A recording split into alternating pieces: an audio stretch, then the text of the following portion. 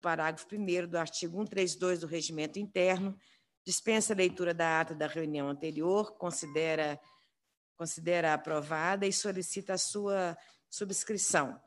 Finalidade da reunião. Esta reunião se destina a receber, discutir e votar proposições da comissão e a realizar audiência pública. Comunicação da presidência. Informamos que essa audiência está sendo transmitida ao vivo na TV Assembleia e no portal da Assembleia. E o público que nos assiste pode participar com perguntas e sugestões através deste canal de internet na agenda da comissão. A presidência registra e agradece a presença da deputada Beatriz Cerqueira, deputada Celis Laviola, prazer em reencontrá-las. Saudade de vocês duas, viu? Muito bom. É, deputada Celis, deputada Beatriz, presentes no recinto, e ainda a participação remota dos seguintes parlamentares. Nós temos aí, participando de forma remota, o deputado estadual Betão, deputado, nosso presidente da comissão, que está também participando de forma remota, Celim Sintrocel, o deputado doutor Paulo, deputado Gustavo Santana, deputada Leninha, deputado Sargento Rodrigues e deputado Zé Reis. E o deputado Ulisses Gomes também participando desta audiência. Deputado Noraldino Júnior também está participando da audiência de forma remota. Correspondência. A presidência informa o recebimento da seguinte correspondência: e-mails recebidos através do Fale com a Assembleia. Das senhoras Rosângela Quintino Rezende, relatando que os servidores da educação estão presenciando o desmonte da carreira e ainda advertindo que a carreira de professor hoje não é mais atrativa para, para a maioria dos que escolhem essa profissão e a reforma pode piorar e muito esse quadro, o que causaria irreparáveis danos ao processo ensino-aprendizagem. Magnalva Limas, Lima da Rocha, alertando que as novas medidas propostas retrocedem direitos adquiridos pelos servidores públicos do Estado, especialmente os da educação e saúde. Maria da Glória Cunha de Vilhena, repudiando veementemente a aprovação da proposta de reforma que extingue direitos conquistados e pedindo que, antes de qualquer tomada de decisão, os servidores sejam ouvidos através de suas representações, já que estão impedidos de estarem presencialmente nessa casa. Paula Quiné de Oliveira, informando que a Lei da Previdência Federal define que o servidor, para quem falta um ou dois anos para se aposentar, aposentar-se-á de acordo com as regras antigas. Ela pergunta, então, como ficará a situação de quem irá se aposentar nessas condições, segundo a proposta do governo? Mariudes Rosa, solicitando que os servidores sejam ouvidos e que a reforma não seja votada de forma tão célere sem, e sem a participação das categorias interessadas. Solicita ainda a atenção de deputadas e deputados, pois a proposta acaba com seus direitos e com o IPSENG.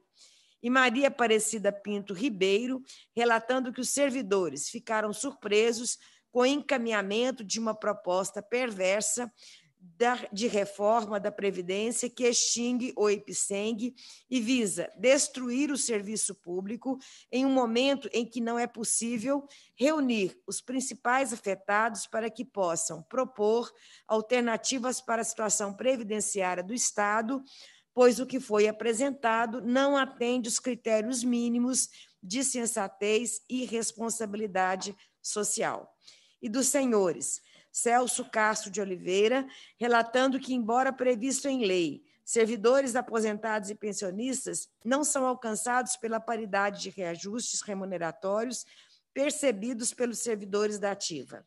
Ederson Fagundes da Silva, relatando que a proposta visa tirar os direitos e baixar os salários dos profissionais da educação, o que pode comprometer a capacidade dos servidores em pagar os empréstimos consignados já assumidos. E Renato Falcibotti, informando que é servidor do Estado há 25 anos, tem 39 anos de contribuição no setor público e que, durante sua vida funcional, nunca presenciou, presenciou tamanho atropelo aos servidores. Pergunta ainda a data em que serão votadas as proposições que versam sobre a reforma. E de correspondência publicada no Diário do Legislativo nas datas seguintes, ofícios em resposta aos requerimentos de números 3457-2019, 6533-2020, 3474-2019, 4745-2020, 1462 e 2873-2019, publicados no Diário do Legislativo de 20 do 2, 25 do 4, 9 do 5, 4 do 6, 19 barra 6, 9 barra 7, respectivamente.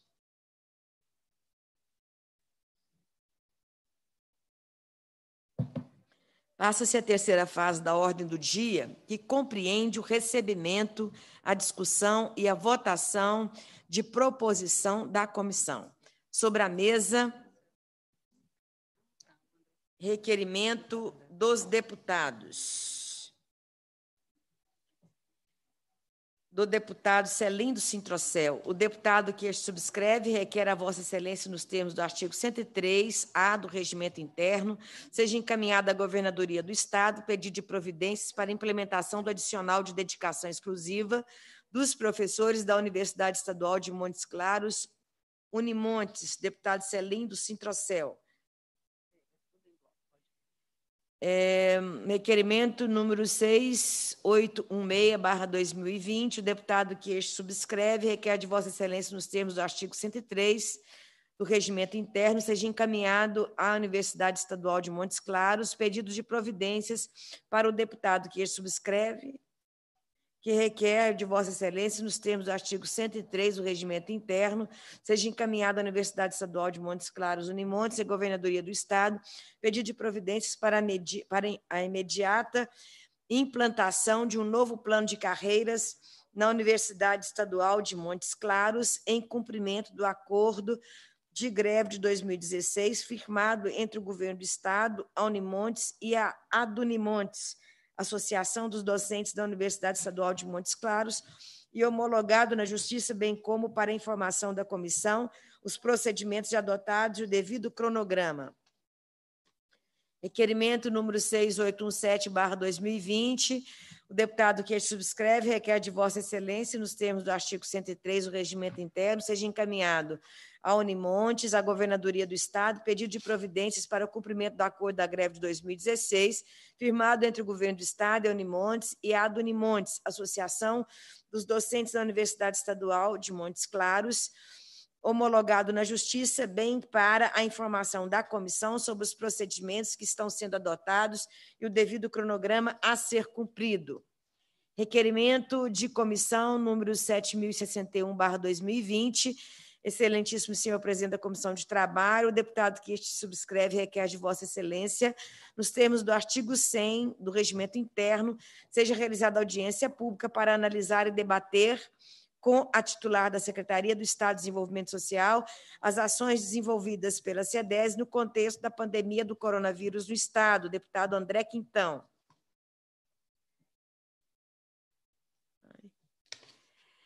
Requerimento 7.062, 2020.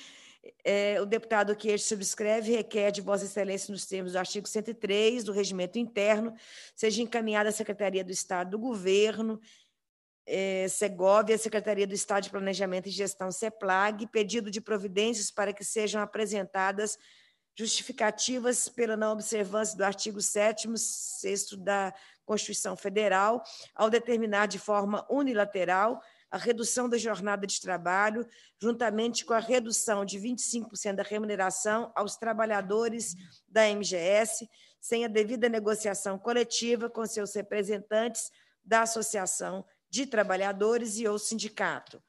Requerimento número 7072/2020 a deputada que este subscreve requer de Vossa Excelência, nos termos do artigo 100, quinto do Regimento Interno, seja realizada audiência pública para debater e avaliar os impactos do projeto de lei complementar e da proposta da emenda à Constituição que compõe a reforma da Previdência encaminhada pelo governador sobre as carreiras dos servidores públicos estaduais. Deputada Beatriz Cerqueira. Uhum. Tá. É, requerimento, é, ah, requerimento de comissão número 7.121, barra 2020, o deputado que este subscreve requer de Vossa Excelência, nos termos do artigo 100, quinto, combinado com o artigo 128 do Regimento Interno, seja realizada audiência pública conjunta com a Comissão de Saúde para debater a saúde dos trabalhadores nas minerações. Deputado Celindo Sintrocel. Uh, requerimento da comissão número 7.182-2020, do excelentíssimo senhor do presidente da Comissão de Trabalho da Previdência Social, o deputado que subscreve, requer de Vossa Excelência, nos termos do artigo 103 do Regimento Interno, seja encaminhada à Prefeitura Municipal de Bicas pedido de providência para que o prefeito municipal, na qualidade de presidente do Consórcio Intermunicipal de Saúde da região Sudeste, Juiz de Fora, Minas Gerais, proceda à recomposição salarial dos trabalhadores do SAMU, sendo que a remuneração é a mesma de 2017. Deputado Betão. Requerimento de comissão número 7.188-2020 é, o excelentíssimo senhor presidente da Comissão do Trabalho, de Previdência e Assistência Social, o deputado que subscreve requer de vossa excelência, no, nos termos do artigo 103, 3 e do regimento interno, seja encaminhado ao presidente da Assembleia Legislativa do Estado do Rio de Janeiro, a LEGE, pedido de informações relativas à CPI do Rio Previdência, que investiga as operações de crédito de antecipação de receitas, especialmente as realizadas no exterior e que foram objeto do processo número 108.168.2/2016 no Tribunal de Contas deste Estado. Se possível ainda, o compartilhamento de eventuais relatórios e documentos relevantes que instruem os trabalhos da CPI, ressalvados aqueles que a comissão entender que devem ser acobertados pelo sigilo necessário para a conclusão das investigações. Requerimento de comissão número 7.213/2020. O deputado que este subscreve requer de Vossa Excelência, nos termos do artigo 103 A do Regimento Interno, seja encaminhado ao governador do Estado pedido de providências para que promova a alteração do decreto número 47914/2020, incluindo os enfermeiros técnicos de enfermagem, fisioterapeutas e demais profissionais da saúde para fins de recebimento da gratificação regulamentada nessa norma, haja visto que estão na linha de frente do enfrentamento do Covid-19 e merecem toda atenção, respeito e valorização do Estado.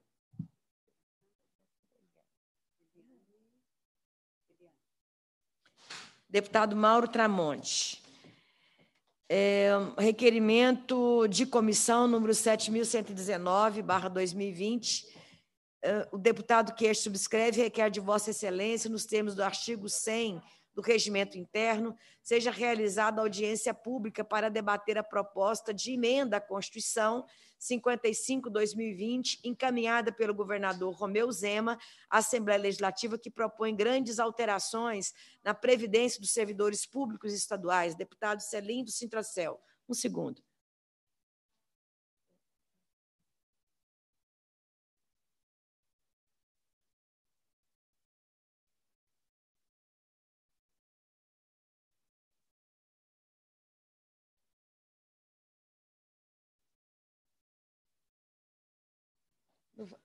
No tempo. No...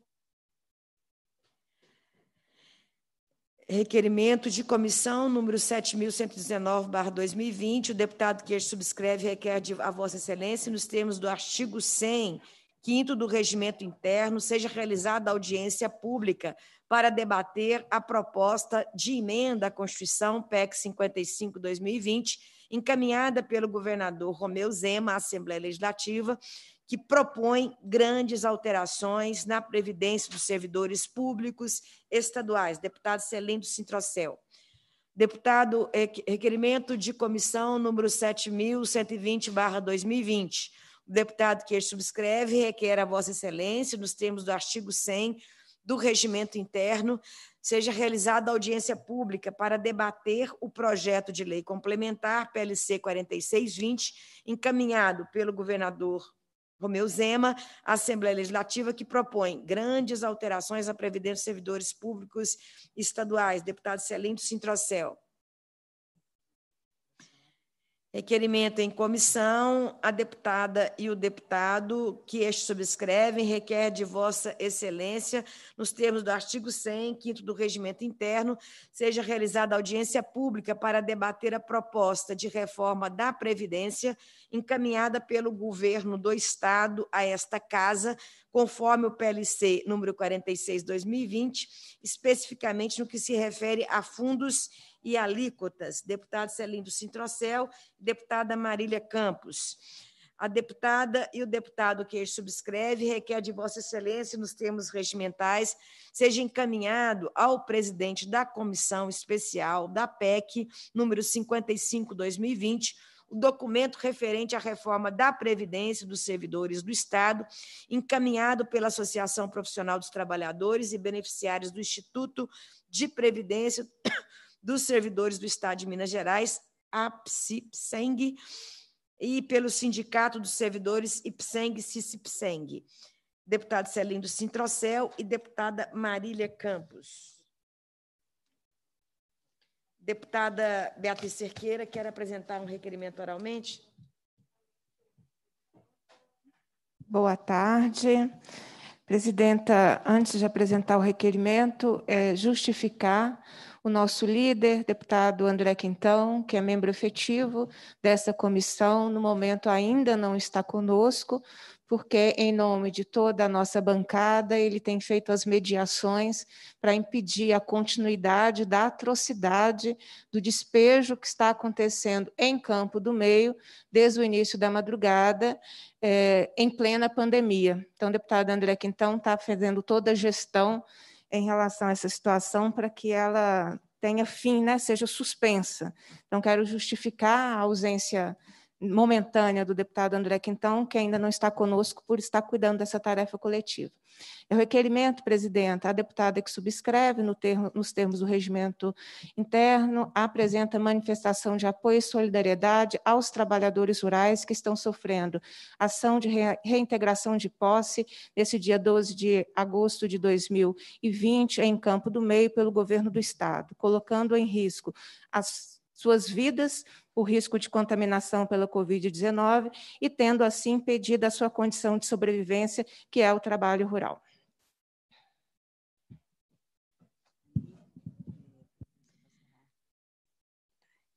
Não vai votar o requerimento? A presidência passará a palavra a cada membro da comissão por videoconferência ou presencialmente para manifestarem sim, não ou em branco conforme queiram votar a favor, contra ou em branco. Em votação, os requerimentos. Como vota a deputada Beatriz Cerqueira? É, presidenta, a deputada vota sim aos requerimentos. Como vota a deputada Celise Laviola? Ela não vai substituir? Não? Ah, sim. Como vota de forma remota o deputado e presidente dessa comissão, o deputado Celim do Sintracel? Deputado Celim, vota sim, presidente. E eu, como membro efetivo dessa comissão, voto sim a todos os requerimentos. Aprovado todos os requerimentos lidos nesta audiência. Passa-se a primeira fase da terceira parte da reunião, que compreende audiência pública. Esta audiência tem a finalidade de debater a proposta de reforma da Previdência dos servidores públicos estaduais encaminhada a esta casa pelo governador do Estado. Convidados da reunião. A presidência informa que está conosco na mesa dos trabalhos a senhora Antonieta. Bem-vinda mais uma vez essa casa, parabéns pela luta. Obrigada, doutora é, a senhora Antonieta de Cássia Dorledo de Faria, diretora de Relações Institucionais do Sindicato dos Servidores do Instituto de Previdência dos Servidores do Estado de Minas Gerais, a quem agradecemos de maneira especial pela disponibilidade em se deslocar até essa casa. Registro também e agradeço a presença, está aqui com a gente a senhora Denise, de Paula Romano, coordenadora geral do Sindicato Único dos Trabalhadores da Educação de Minas Gerais, Sindiute, também parabéns pela luta, Denise, pelas bravas colocações que tem feito aqui nessa, nessa casa, Casa do Povo. Cumprimentar também o senhor. Ah, e agradeço a presença remota representando aí o governador do, do estado, o senhor Otto Alexandre Levi. Boa tarde para o senhor, senhor secretário de Planejamento, senhor Otto. Também é, do senhor Moisés de Oliveira Melo, presidente da associação. Senhor Moisés, assim, senhor Moisés, presidente da Associação dos Contribuintes do Instituto de Previdência dos Servidores do Estado de Minas Gerais, do senhor João Diniz Pinto Júnior, ex-presidente do Instituto de Previdência dos Servidores do Estado de Minas Gerais. Informamos que o senhor Flávio Serafim, deputado estadual na Assembleia Legislativa do Rio de Janeiro, justificou sua ausência, pois esta reunião está acontecendo concomitantemente à reunião de plenário daquela casa legislativa.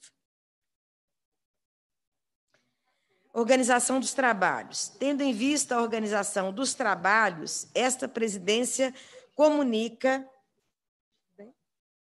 É o Bartô? Comunica aos parlamentares e aos convidados e convidadas que os atos desta audiência obedecerão ao seguinte ordenamento: cada convidado disporá de até 10 minutos para sua exposição. Em seguida, os membros efetivos da comissão disporão de cinco minutos para seus questionamentos na seguinte ordem: Deputado Celindo Sintrocel, presidente da comissão. Não, aqui é o contrário, não? Precisa ler isso aqui? É. Deputado André Quintão, vice-presidente da comissão. Deputada Marília Campos. Deputada Celise, que está aqui substituindo o deputado Gustavo Valadares, que teve um outro compromisso. E também o deputado Mário Henrique Caixa informamos aos parlamentares que desejarem apresentar requerimento decorrente desta audiência poderão fazê-lo por meio da plataforma Sileges. Sou eu. Eu gostaria de fazer uma, uma consideração inicial, primeiro cumprimentando dando uma boa tarde a todos e todas, aqueles que nos acompanham pela TV Assembleia, pelo portal da Assembleia. Cumprimentar todos e todas que estão aqui neste recinto, os nossos convidados que nos acompanham de forma remota. E primeiro eu queria manifestar minha solidariedade a todos os trabalhadores e trabalhadoras que, de forma violenta estão sendo despejados por decisão da Justiça no sul de Minas, onde o nosso presidente do bloco se deslocou e está tentando intermediar para que a justiça seja feita e que nesse momento de pandemia, não só a nossa solidariedade é necessária, como também é necessário que a gente sensibilize o poder judiciário e também o próprio governador para que flexibilize e negocie né, essa decisão para que a, para que a gente possa evitar mais, mais dores, né? e que a gente possa também encontrar uma solução para aquelas famílias que se encontram naquela região, produzindo, gerando renda, criando seus filhos há mais de 20 anos. Então, a gente manifesta, em primeiro lugar, a minha solidariedade e também pedindo, fazer esse apelo para que uma solução seja encontrada no sentido de promover justiça para aquele povo. Vocês todos ouviram algumas manifestações de trabalhadores que, de forma virtual, manifestaram as suas preocupações, as suas indagações em relação à questão da reforma da Previdência que está tramitando aqui nessa casa. Depois da Comissão de Justiça, essa é a primeira comissão que procura fazer um debate do PLC 046, que tem como objetivo discutir a questão da proposta que cria o fundo previdenciário, que cria fundo financeiro, que extingue o fundo financeiro anterior, que discute alíquotas, que discute a MGPrev, que discute o IPSENG. Ah, aprender com óculos, deixa eu ver. Que discute é, me perdoe, ainda não sei usar direito isso. É, então, é um projeto que de, também discute cálculos né, da, dos benefícios previdenciários, então é, teremos aí um bom debate pela frente. Mas antes, sem, sem entrar no debate e fazer uma consideração inicial, é, o posicionamento não apenas meu, mas de vários companheiros e companheiras que compõem o nosso bloco é, parlamentar, fizemos apelo para que esse projeto de reforma fosse retirado, que ele não fosse não tivesse um trâmite na Assembleia é, e que não houvesse as discussões em função desse processo que a gente se encontra de funcionamento remoto, onde os trabalhadores e trabalhadoras do serviço público e também a população de forma geral, porque isso também é do interesse do povo de Minas Gerais, esse debate, em função da ausência de participação popular e esse acompanhamento apenas remoto, que a gente não fizesse esse debate agora. Mas foi alegado é, inúmeras razões para que fossem feitos, o governo do Estado teve vários posicionamentos aqui de que tinha o prazo da alíquota, que já foi, inclusive, é, é, colocado, não tem mais esse prazo, que era 31 de julho. Né? O governo do Estado insistia também de que é, precisaria resolver várias questões da reforma, porque a situação financeira do Estado está inviável, está cada vez mais complicada. Né? Mas é, hoje eu tive a, a, eu vi pelos jornais, né, se hoje nós não temos a pressão, que era a data do 31 de julho, é, que colocava é, apenas o debate e a decisão sobre as alíquotas, eu diria que também, do ponto de, de vista financeiro, é, pelo que eu vi pela imprensa hoje, é, o Estado não se encontra numa situação de tanta calamidade. Porque a política de, de auxílio, de amparo do governo federal, é, do governo federal, de, é, de amparar os estados com compensação é, de recursos em função das perdas de impostos em função da pandemia. Então, houve uma compensação é, em vários, em todos os estados, e em particular no nosso, ainda sobrou um saldo de 162 milhões, porque tudo que foi é, que nós perdemos, deixamos de arrecadar em termos de, de impostos, teve a política de compensação feita pelo governo federal. Então, esse é mais um motivo que a gente tem para apresentar, né? Se não temos aquela exigência legal de fazermos o debate das alíquotas, né? É, e também não temos essa questão financeira colocada em função das ajudas que o governo federal tem dado à população mais vulnerável através de auxílio emergencial, né? e também é essa política de compensação em função das perdas, eu diria que a gente deveria ter mais tempo e que essa discussão fosse feita é, com participação popular e não é, tivesse apenas o acompanhamento dos servidores e das servidoras de forma remota. Mas nós estamos aqui hoje para cumprir os prazos, né? os prazos de um projeto que ainda se encontra em tramitação e que só pode ser retirado, só podemos parar se o projeto for retirado é, pelo governo, e aí nós não teríamos a tramitação nas várias comissões. Eu queria, então, fazer uma consideração sobre é, o que está nesse projeto 046, que é em relação à questão é, do IPSENG e da MGPREV. É,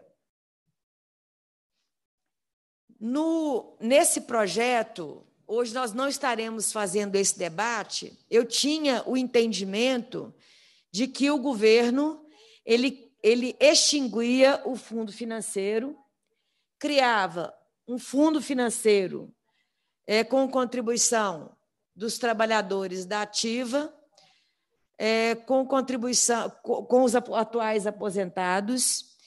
Eu tinha o entendimento, pelo que eu tinha visto no projeto e pelo próprio relato da Comissão de Constituição e Justiça, que o governo criava um fundo previdenciário que, na minha opinião, se caracterizava como um fundo é, de capitalização. E eu fiz várias críticas nesse sentido, que, na minha opinião, por experiência, pelo que eu já estudei, né, como o fundo previdenciário, você faz a migração das novas contribuições, dos novos servidores, todas para o fundo previdenciário, ele deixa de abastecer o fundo financeiro e, portanto, é, a despesa ficaria apenas com o recurso do Estado, porque as novas contribuições iriam para o fundo previdenciário, que seria guardado como uma poupança para ser gasta daí a 30, 40 anos. Inclusive, eu fiz várias vezes essa pergunta, né, que era uma visão completamente é, inexplicável. Um Estado que hoje atrasa salário de servidores e servidoras e faz uma poupança que seria o fundo previdenciário. Mas eu tive a oportunidade de debater com vários, é, várias, vários, é, vários representantes de secretaria é, que foram coordenados pelo secretário de governo, o secretário Igor, onde é, eles deixaram claro que é, essa proposta de criação de fundos é, não, não seria é, criação de regime de capitalização, que o que o Estado estaria criando é sim um fundo financeiro onde ficaria todos os trabalhadores da ativa, aposentados, as novas contribuições ficariam nesse fundo financeiro e o que o Estado estaria criando seria um fundo de ativos. Isso, inclusive, dá para verificar no próprio projeto, porque no projeto ele estava um pouco é, é, meio, meio, com uma contradição, porque lá não especificava contribuição nem do Estado e nem dos servidores. Então, o que o Estado explicou, deputada Celise, é que eles estão criando um fundo de ativos. Né? Então, o modelo de previdência dos servidores públicos de Minas Gerais seria é, um modelo equiparado ao modelo da União, onde teríamos um fundo financeiro e um fundo é, de complementação de aposentadoria. Então, não teríamos previdência de capitalização. Bom, explicado isso, né, nós vamos, obviamente, então, eu sugeri nessa reunião que fizessem várias eh, modificações no atual projeto, porque o tempo todo o projeto fala é, que o fundo financeiro tem que ter equilíbrio atuarial. Equilíbrio atuarial é só compreensível dentro de um sistema de previdência de capitalização. O que a gente fala em fundo financeiro é equilíbrio financeiro e não equilíbrio atuarial.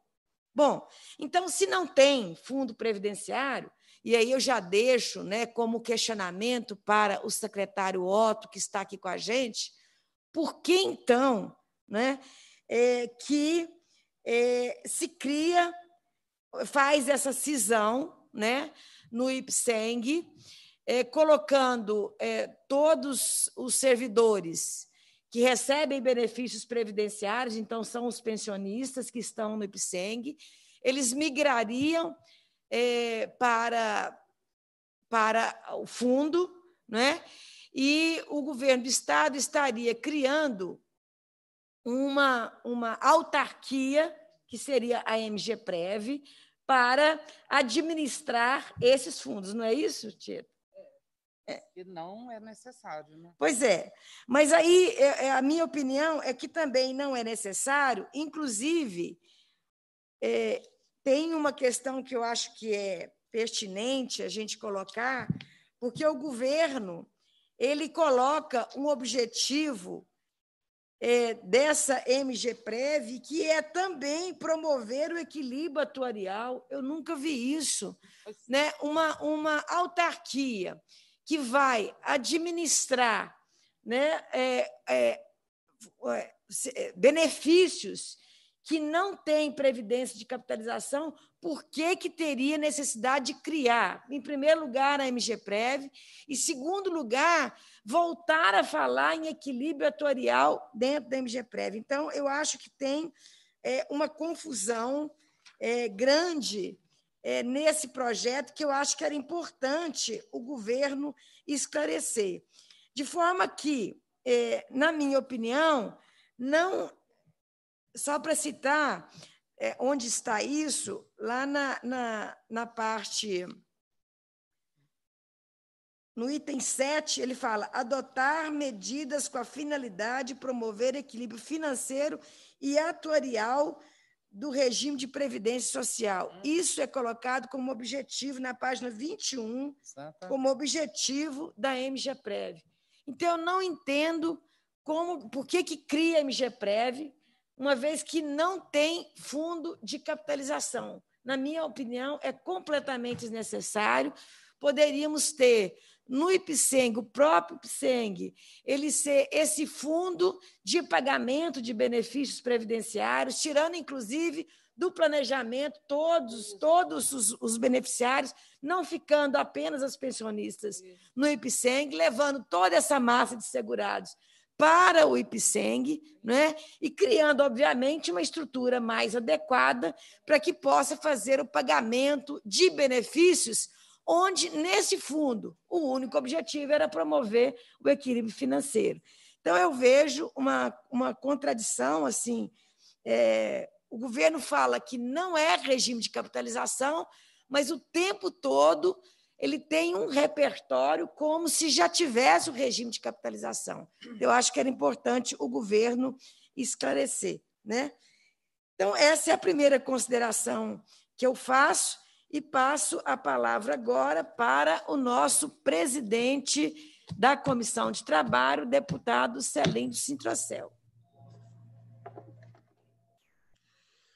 Bem, boa tarde a todos, a todas. Eu quero aqui agradecer a deputada Marília Campos, membro desta comissão, que se prontificou a, a presidir essa audiência pública. Quero agradecer também todos os demais deputados e deputadas presentes, de forma remota ou não. É, cumprimentar aqui o senhor Moisés Melo, como também cumprimentar aqui o senhor João Diniz, presente também. e agradecer ao secretário Otto Levi pela disposição de esclarecer as propostas do governo. E, principalmente, eu quero agradecer e cumprimentar aí a, o movimento sindical na pessoa da Tieta, presente na mesa, presidenta do Sindicato dos Servidores do IPSENG, que solicitou a mim essa audiência pública e que garantiu para a data de hoje uma boa mobilização para que ela acontecesse. Eu quero primeiro, presidente Marília, reafirmar que minha opinião de que uma matéria desta dimensão, uma PEC, um PLC, que mexe com a vida de milhares de pessoas, de servidores e servidoras, não deveria tramitar num período de isolamento social como o que vivemos. Entendo da mesma forma que Vossa Excelência se também pronunciou. Mesmo reconhecendo as dificuldades do Estado de Minas Gerais, do governo, e as possíveis exigências legais, eu creio que o mais ideal é que os servidores públicos, os principais envolvidos e interessados nesse tema, pudessem se expressar livremente, discutir alternativas e apresentar propostas construídas coletivamente. Contudo, é, de tantos apelos, isso não foi possível. E o governo, de certa forma, insiste em fazer essas mudanças já de imediato e agora. No dia em que o PLC, deputada Marília, chegou à Comissão de Trabalho e Previdência e Assistência Social, e a deputada Beatriz Cerqueira presente também sabe disso, eu disse que iríamos buscar garantir um debate mais amplo, possível, para buscar ouvir todo mundo e impedir um prejuízo ainda maior aos servidores públicos. E isso que nós estamos realizando hoje é uma forma da gente poder tirar dúvidas, contribuir com todos e com todas, no sentido da gente espancar o máximo de dúvidas que tem por parte dos servidores públicos. E, ao mesmo tempo, o governo também esclarecer questões que são para nós também é, muito é, é, difíceis de entender. É, nossa audiência é, ela visa recolher, no máximo, doutor Otto, elementos para o relatório da nossa Comissão de Trabalho e da Previdência de Assistência Social, o PLC 46 que, junto com a PEC, busca fazer uma mudança total na Previdência do Estado. No caso do IPSENG, a reforma tem incidência ainda na área da saúde e na área da assistência social. O substituto que chegou à comissão, acompanhada de uma proposta do governador, o PLC 46, propõe uma cisão dentro do IPSENG. E o atual instituto da Previdência do Estado de Minas Gerais, responsável pela Seguridade Social dos servidores públicos, a saúde, a previdência assistencial, seria, como a deputada Marina disse, dividida em dois. Uma parte seria para o Instituto de Gestão do Plano de Saúde dos Servidores do Estado de Minas Gerais, com a mesma sigla que continua sendo o IPSENC, e seria responsável em atender somente a área da saúde, prestando assistência médica, hospitalar, farmacêutica, odontológica e social a seus beneficiários, tanto servidores quanto também aos seus dependentes. A outra parte seria responsável pela previdência, com a criação de uma nova autarquia, a Minas Gerais Previdência dos Servidores Públicos Civis do Estado, chamada MGPREV. A função da MGPREV seria gerir o regime próprio de previdência social dos servidores, vinculada à Secretaria do Estado da Fazenda. Da Fazenda. Então, doutor Otto, um dos meus esclarecimentos é, que eu gostaria que o governo precisa fazer e por que quer criar, por que, que o governo quer criar uma nova instituição? Por que, que quer criar uma nova autarquia? Por que não aproveitar a experiência de décadas, de décadas, que o próprio Ipseng é, atual tem hoje na sua história, em todo o seu movimento? A lei que exige essas mudanças, é, ela não exige a criação de uma entidade só para a saúde. Ao contrário, deixa aberto, é, exigindo apenas que haja uma entidade para a Previdência. E em Minas Gerais, eu entendo que nós já temos o IPSENG. É dessa forma que eu estou entendendo, depois de muitas conversas que eu estou tendo, até mesmo com pessoas também junto comigo que leu a proposta do governo e que ainda persiste para nós muita dúvida. É, o IPSENG é, ele é o atual responsável por um plano de saúde é, que, mesmo com dificuldade, atende os servidores. E a Previdência é gerida pela Secretaria da Fazenda. Eu gostaria de entender por que criar a MGPrev. Não seria melhor investir, ao invés de criar mais uma autarquia, criar novos cargos, contratar mais pessoas e gastar mais recursos e fortalecer uma entidade como o IPSENG já existente? É uma dúvida que eu tenho que eu gostaria de que pudesse ser debatido nessa audiência pública de hoje. Por que não tirar da Secretaria da Fazenda e voltar com a Previdência para o IPSENG? E lá, de dentro, gerir tanto a saúde como a Previdência. Estamos, eu acredito, no momento de fundar é, novas estruturas. É, são perguntas que eu gostaria que fosse respondida, doutor Otto, e eu gostaria muito que o senhor pudesse analisar essas perguntas que eu aqui estou dirigindo ao senhor como representante do governo nessa audiência pública. E quero dizer também que as perspectivas eh, não são nada boas para a população. No momento deste, em que é preciso ampliar a prestação para a população de serviços como educação, saúde e segurança pública. São servidores civis que mantêm a máquina do Estado funcionando nas áreas da administração, nas áreas das obras, nas áreas da saúde, nas áreas da segurança, na área da arrecadação, da fiscalização, de diversas áreas, assistencial. Então, eu acho que há também uma necessidade, de, além disso, é, são eles que defendem o funcionamento da Justiça, do Ministério Público e assim por diante.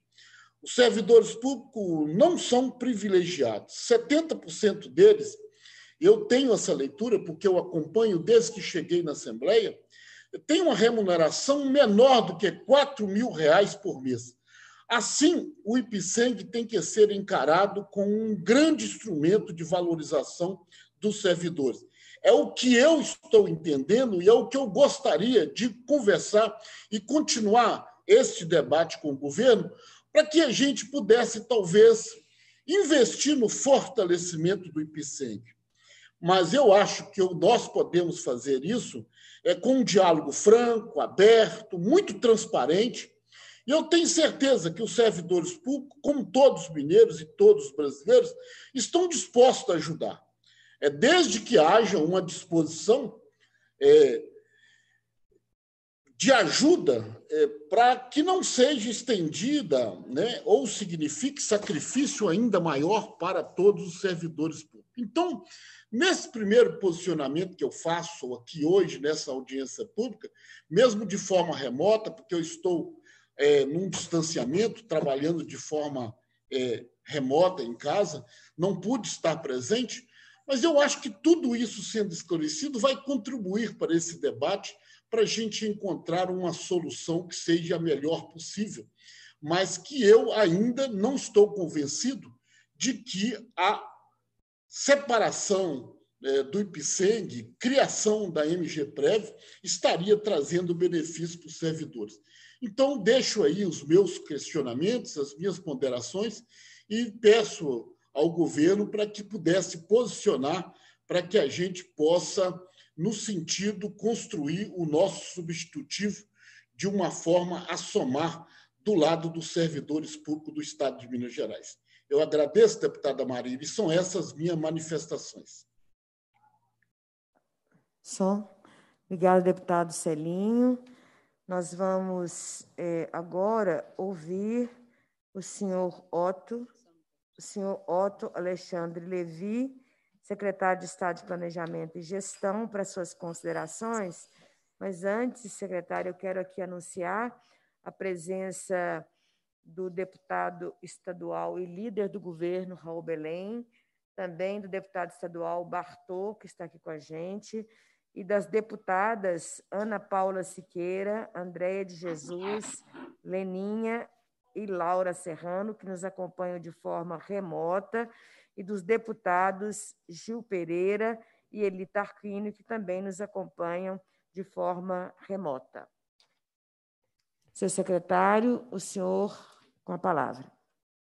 Ok. Dez minutos. Tá. Bom dia, deputada Marília Campos. Bom dia, deputado Celinho Citrocel. Senhoras deputadas, senhores deputados, é, um cumprimento especial aí à Tieta, pessoa com quem, durante esse um ano e meio que estou no governo, já tivemos várias reuniões. Senhoras, senhores, é, deputada Marília Campos, eu fiz uma pequena apresentação. É, eu, se eu puder fazer essa apresentação, e durante a apresentação eu vou tentar responder pelo menos tanto a questão que a senhora me fez quanto a que o deputado Celinho fez.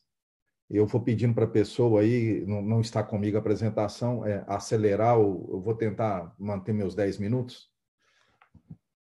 Ok? Então, por favor, próximo slide. Bom, então, rapidamente, né? É, o que é essa reforma da Previdência? São mudanças na regras de aposentadoria, seja no tempo de contribuição, na alíquota de contribuição e na idade mínima de aposentadoria. Pode ir para o próximo, por favor.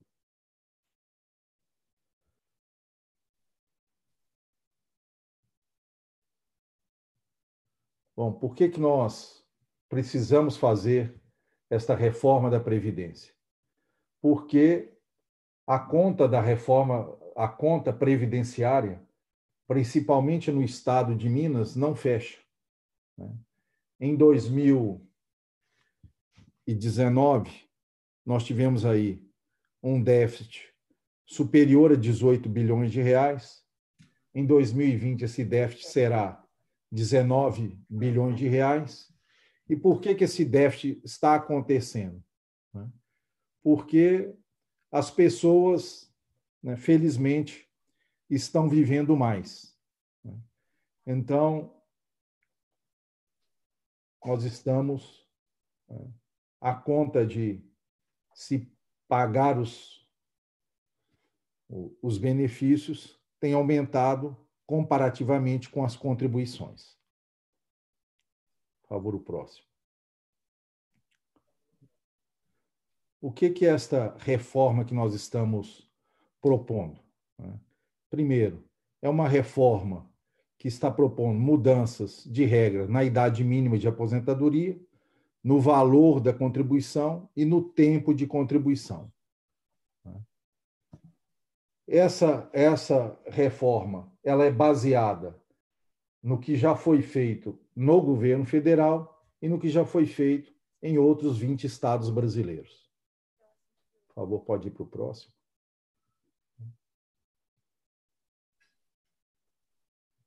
Aqui. Eles não entendem o que é isso, né? Bom, o que acontecerá né, se nós não fizermos esta reforma da Previdência? Então, é importante termos em mente que o maior problema financeiro do Estado de Minas é o problema previdenciário. Então, eu só estou falando um fato, não estou apontando culpados. Estou dizendo que o maior gerador do déficit fiscal de Minas é o déficit previdenciário. Se nós não tratarmos esse déficit previdenciário agora, a situação fiscal de Minas tende apenas a se deteriorar. Pode ir para o próximo, por favor. Por que, que a reforma é necessária? Bom, primeiro, para nós buscarmos um equilíbrio nas contas públicas. Né? É importante dizer que nós não estamos buscando o equilíbrio das contas públicas única e exclusivamente através da solução do déficit previdenciário, mas obviamente nós temos que atacar esse problema. Sem resolvermos ou sem atacar esse problema, né, nós nunca vamos conseguir equacionar a situação fiscal de Minas. Já temos aí quatro anos e meio que nós não conseguimos, pelo menos no executivo, pagar o salário do servidor do executivo é, em dia, pagar o décimo terceiro no ano é, correto. Os investimentos necessários né, em infraestrutura né, já abandonamos né, há algum tempo. Então, é necessário que nós resolvamos o problema fiscal de Minas se nós queremos que o Estado seja justo com o servidor e seja justo com o contribuinte. Pode ir para o próximo, por favor. Pode ir para o próximo também. Bom, quem já passou pela reforma previdenciária em Minas? Todos os servidores municipais que não têm regime próprio, todos os bombeiros militares de Minas Gerais, todos os policiais militares de Minas Gerais, todos os servidores de recrutamento amplo de todos os poderes, legislativo, judiciário e executivo, e todos os trabalhadores de contrato temporário na saúde, segurança e educação, os designados.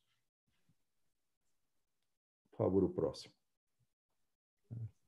Então, essa reforma, ela atinge os servidores ativos, que são 184 mil servidores, os servidores inativos, que são 250 mil, né? as pensionistas, 38 mil, perfazendo um total de 473 mil servidores.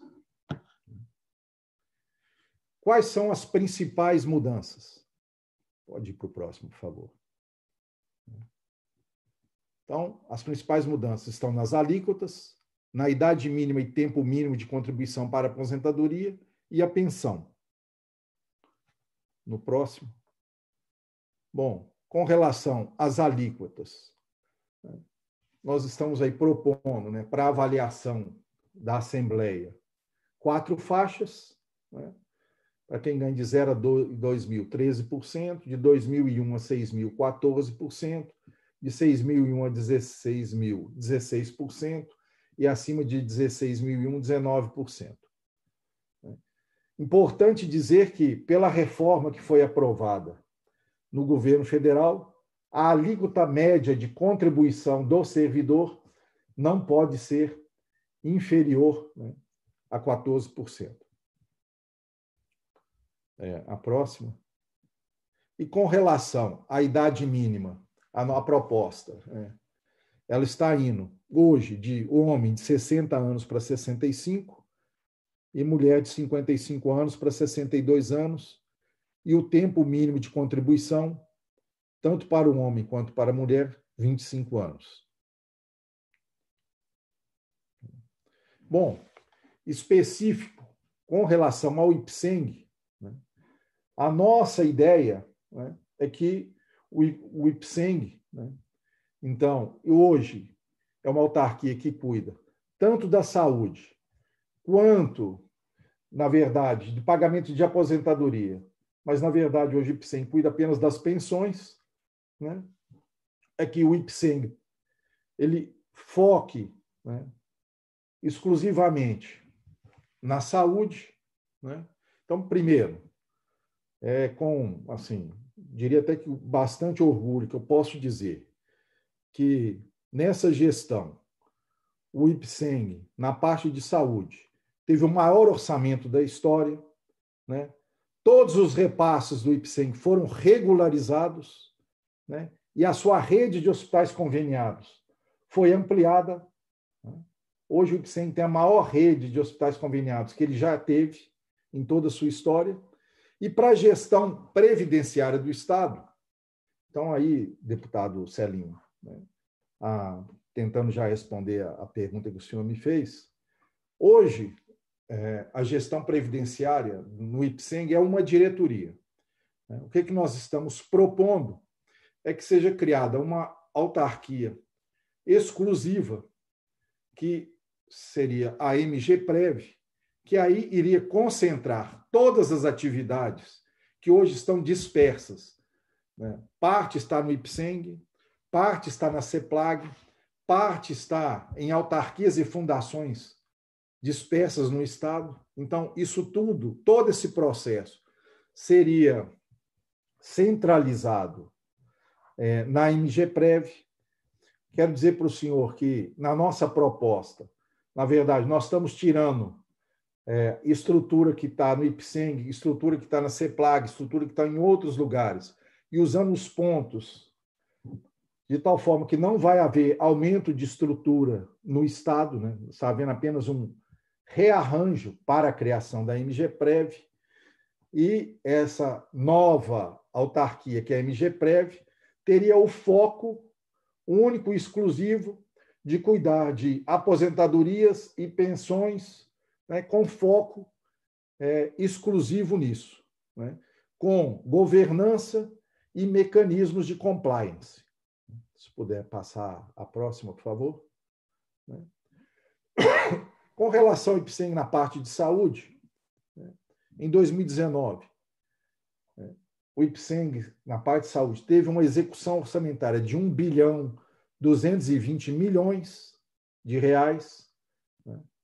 Nós repassamos toda a contribuição do empregado, a contribuição patronal e mais um pedaço que ficou retido nos anos anteriores, de tal forma, de tal forma que nós conseguimos encerrar o ano de 2019 sem nenhuma dívida fora do prazo previsto em contrato com os fornecedores, e essa situação né, se mantém né, durante o ano de 2020. Pode passar, por favor.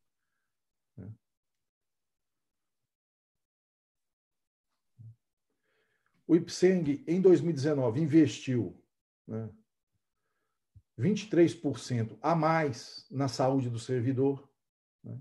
Com isso aí, é, é, nós pagamos os fornecedores, a dívida que existia com fornecedor e com a rede credenciada. Né?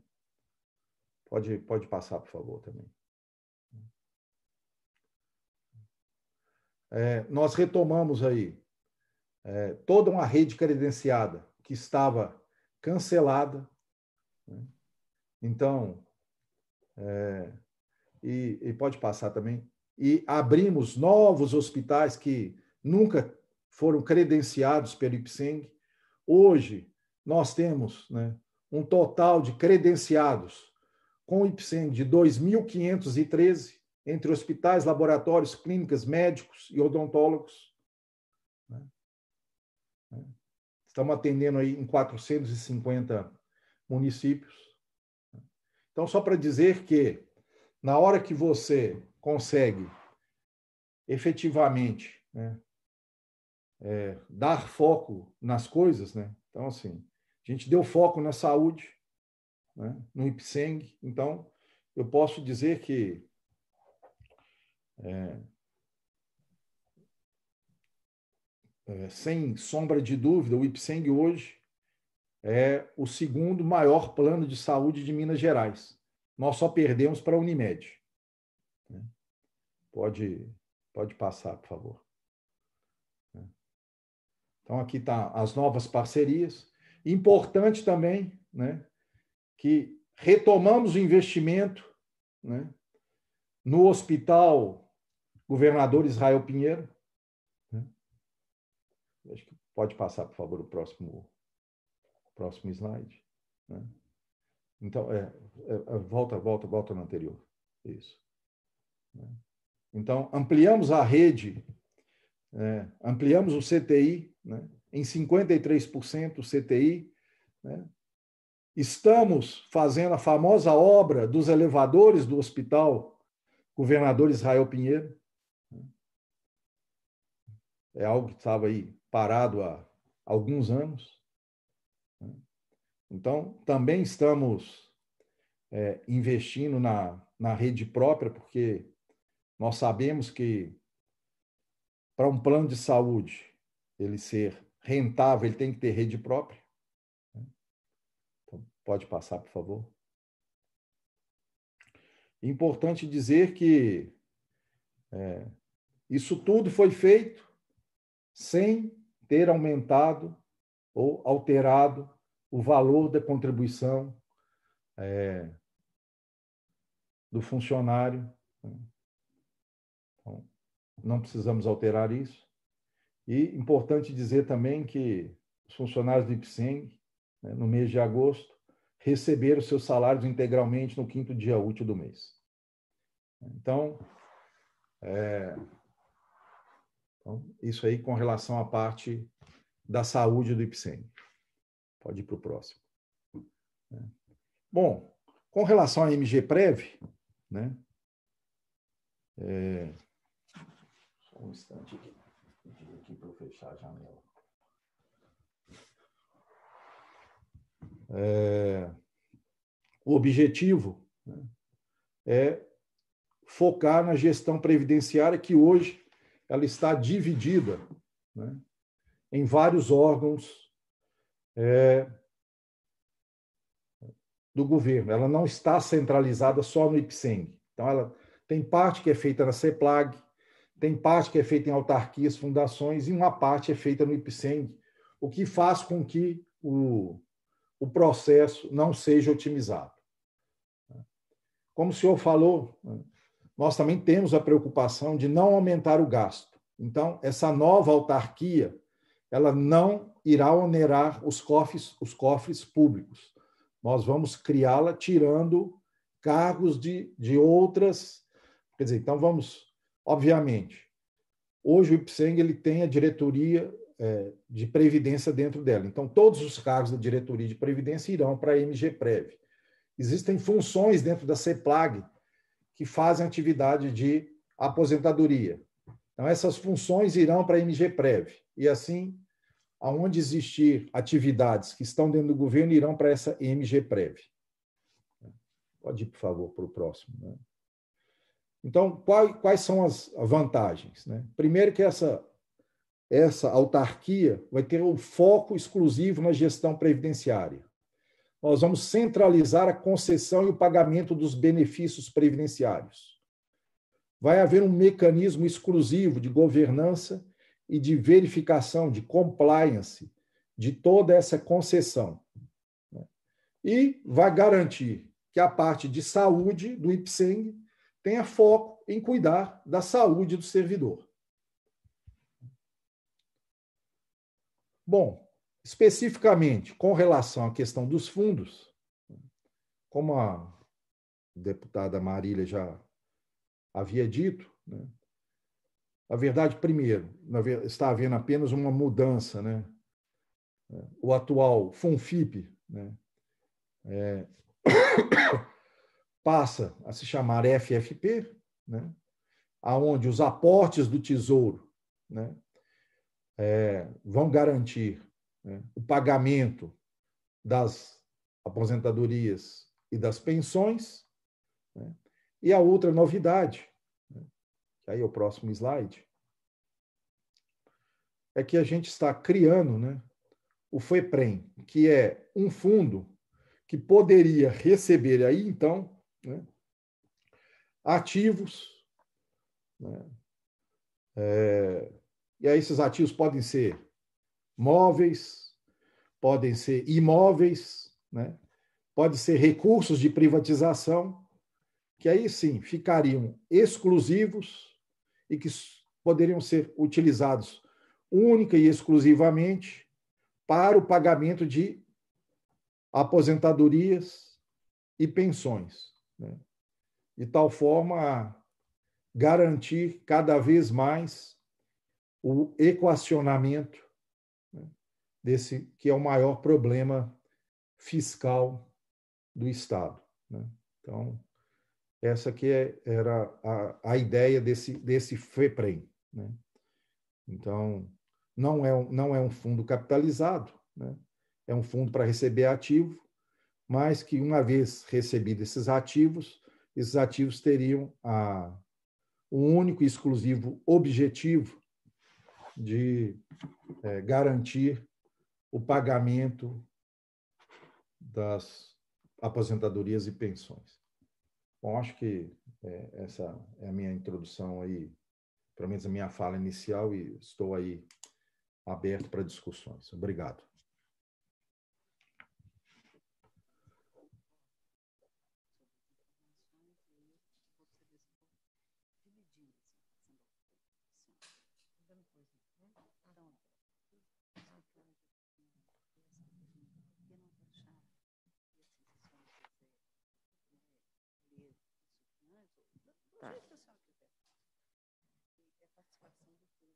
Tá bem. Antes de passar a palavra para Antonieta, é, nós estamos tendo uma participação grande de pessoas pelo portal. Eu vou ler aqui algumas perguntas que foram feitas. É, as, os nossos convidados poderão responder nas suas intervenções. Por que os benefícios fiscais? É, por que não taxar as grandes fortunas em vez de fazer o funcionalismo pagar por um déficit que ele não, não foi ele que causou? A primeira pergunta foi feita pela Viviane, a segunda pela Lesca. A terceira pergunta, Gilson Faria. É, por que não cobrar dos grandes devedores da Previdência ou cortar ou reduzir as isenções de contribuições previdenciárias concedidas a várias grandes empresas. Uma outra pessoa, Janete Nogueira de Jesus, de Coronel Fabriciano, as isenções fiscais só crescem e nunca são citadas pelo governo. Por que não extingui-las ou diminuir seus percentuais para aumentar a arrecadação? Essas foram algumas perguntas que a gente vai estar lendo, né? É, nós vamos passar a palavra agora para Antonieta de Cássia, que é diretora de Relações Institucionais do Sindicato Servidores do Instituto de Previdência dos Servidores do Estado de Minas Gerais. Antonieta.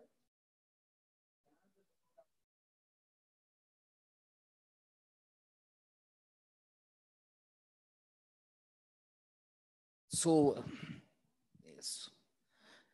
eu quero agradecer todos os deputados que estão aí empenhados, deputado Celinho, deputada Bia, que está aí incansavelmente nessa luta conosco.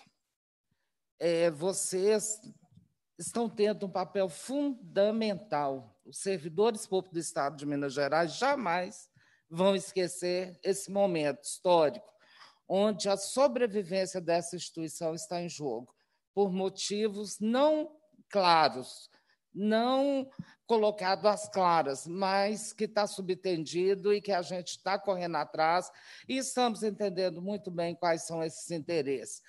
Aos colegas sindicalistas que estão aí apoiando, é, ao Sindiúte, que é, tem o maior número de usuários do IPSEG, que não tem a menor condição com os baixos salários que recebem, de estar aí bancando planos de saúde, né? e nenhuma aposentadoria complementar. A necessidade desses é, servidores de ter o IPSENG como norte. Deputado Otto, meus respeitos, né? o senhor como gestor, deputado, secretário, não é só o senhor que pode cometer gafe, eu também. Secretário Otto, meus respeitos.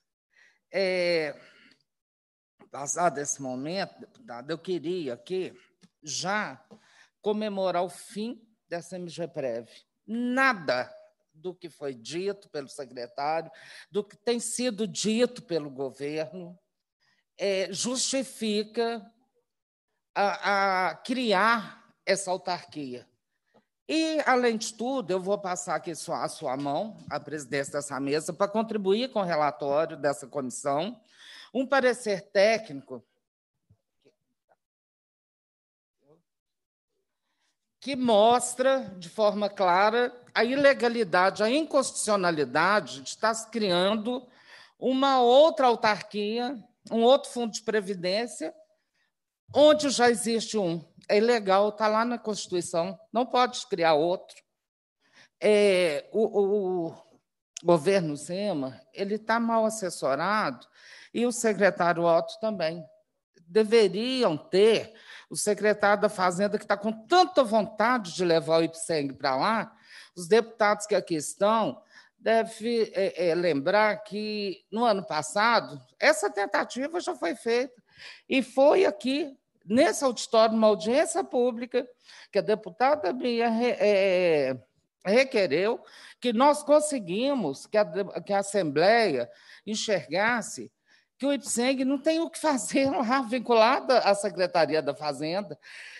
Aí ficou claro, quando aqui a MGPrev, né, esse projeto, essa monstruosidade, esse projeto de maldade, cita que ela vai, ah, ela vai se capitalizar, primeiro o recurso financeiro dela são os bens do IPSENG, bens esses, está claro lá na lei que não estiver sendo usado pela saúde vai ser vinculado a essa vampiresca MG breve. Ora, esses bens, o, o, os passivos são utilizados na saúde, são aplicados na saúde. Os aluguéis, é, é, as rendas advindas desses bens, desses imóveis, além de ser uma reserva técnica do Instituto de Previdência, eles são usados na saúde do servidor. Então, ele vai estar lesando o patrimônio, vai estar lesando o, o, a parte da saúde do servidor público, porque ele já está tirando dali um patrimônio enorme. Isso não foi colocado hora nenhuma, não foi esclarecido hora nenhuma. É, então, eu já começo aqui a minha fala celebrando o enterro dessa famigerada MGPrev é, ela, Deus não há de permitir que isso aconteça com o IPSEG. Tudo que o secretário falou, a proposta de reforma, tal, nós nem nos atemos a isso, porque se ele quer fazer, ele traga para a discussão, chame os servidores, vamos sentar e vamos conversar o que é preciso ser feito. A gente acredita que a Previdência, não só aqui em Minas, mas no Brasil como todo, tem ali que ser atualizada, de tempos em tempos ela tem que ser mexida. Mas não precisa criar outra autarquia. Eu queria até. Aí eu começo assim. É, por que, que ele quer tanto depois de tudo que a gente mostrou, da não necessidade, porque tanta essa necessidade de criar essa MGPrev. Eu queria muito que o deputado Flávio, lá do Rio de Janeiro, pudesse é, ter estado aqui para poder é, relatar aqui para essa comissão e para essas centenas de servidores que estão no estado todo, porque nós mobilizamos mesmo, deputado Está todo mundo aí defendendo é, viu, deputado Bartolo? A sua previdência que foi construída, é, é o outro ali. É porque eu olhei para você, mas eu vi ele ali. é, eu vi ali. É...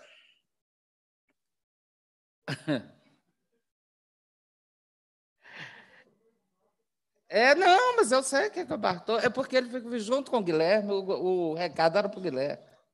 Ali. Vive, junte. Aí. junte, deputado.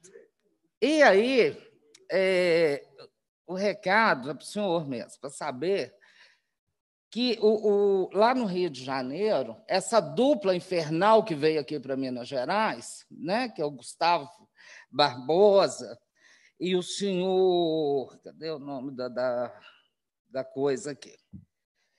É, aqui para frente, Éder, que é o, o pretenso presidente da, da SMGPREV, fizeram lá no Rio de Janeiro. Mas aí teve um problema aqui na Assembleia, que não podia, que a, que a não podia, que está gravando no horário que, que, o deputado podia estar, que ele tinha confirmado, e agora às três e meia ele não podia, porque está é, é, tendo também audiência lá na Alerj, que foi uma pena, né? Eu fiquei me achando meio esquisito isso, mas tudo bem. Ele está pronto para fazer uma live para a gente, depois com a gente, com o nosso sindicato, depois a gente depois a gente disponibiliza. É, eu já coloquei aí, é, deputada Marília, deputada Celim meus companheiros. É, lá atrás, quando foi questionado a prestação de atendimento compulsório à saúde do servidor público, que foi questionado no Supremo, arrastou anos, e nós moramos em Brasília. Até nos encontramos várias vezes lá em Brasília, a gente fazendo essa luta lá pela preservação da nossa instituição. E o Supremo entendeu que o IPSEG poderia sim estar lá no acórdão da ADIM 3106, poderia sim prestar atendimento à saúde, desde que forma facultativa, é, aos servidores públicos do Estado de Minas Gerais. Eh, poderia prestar, é, o IPSEM poderia estar tá cumprindo o seu papel de seguridade social, prestando atendimento à previdência, à saúde, assistência social, farmacêutica, odontológica e tal, tal, tal. Então, por que, que agora está lá? Se o Supremo tem esse atendimento, aí o governador Zema, que mal sabe onde fica a sede do IPSENG, né? mal sabe as siglas das autarquias do Estado de Minas Gerais, né? quanto mais a lei que as regulamenta, porque senão não estaria encaminhando essa lei de forma ilegal. Ele vem propor o seu fim. É extinção, sim, secretário. Está acabando, sim. Aqui, ó, no programa do governo, ele fala que a saúde ela tem que ser terceirizada. Está aqui no programa de governo que tem que ser feito por OCIPs, que tem que ter uma parceria público-privada. Ele acaba com a Previdência MGPREV, leva o patrimônio e entrega a saúde para OCIPs. Isso quase aconteceu o ano passado. Estava prontinho para ser acontecido, estava lá. Todo mundo sabe do que eu estou falando, estava lá pronto.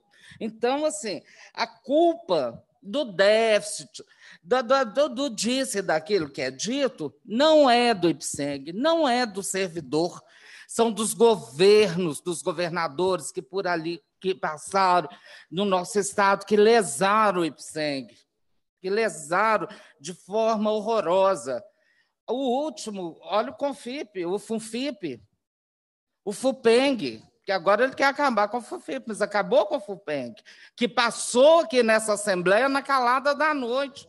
Então, os deputados daqui têm obrigação honrosa de resolver, de resgatar isso, porque isso que aconteceu levou o fundo, na época, mais de 3 bilhões, o governo levou para os cofres e não se fala mais nisso. Então, com essa mudança, acaba essa dívida também.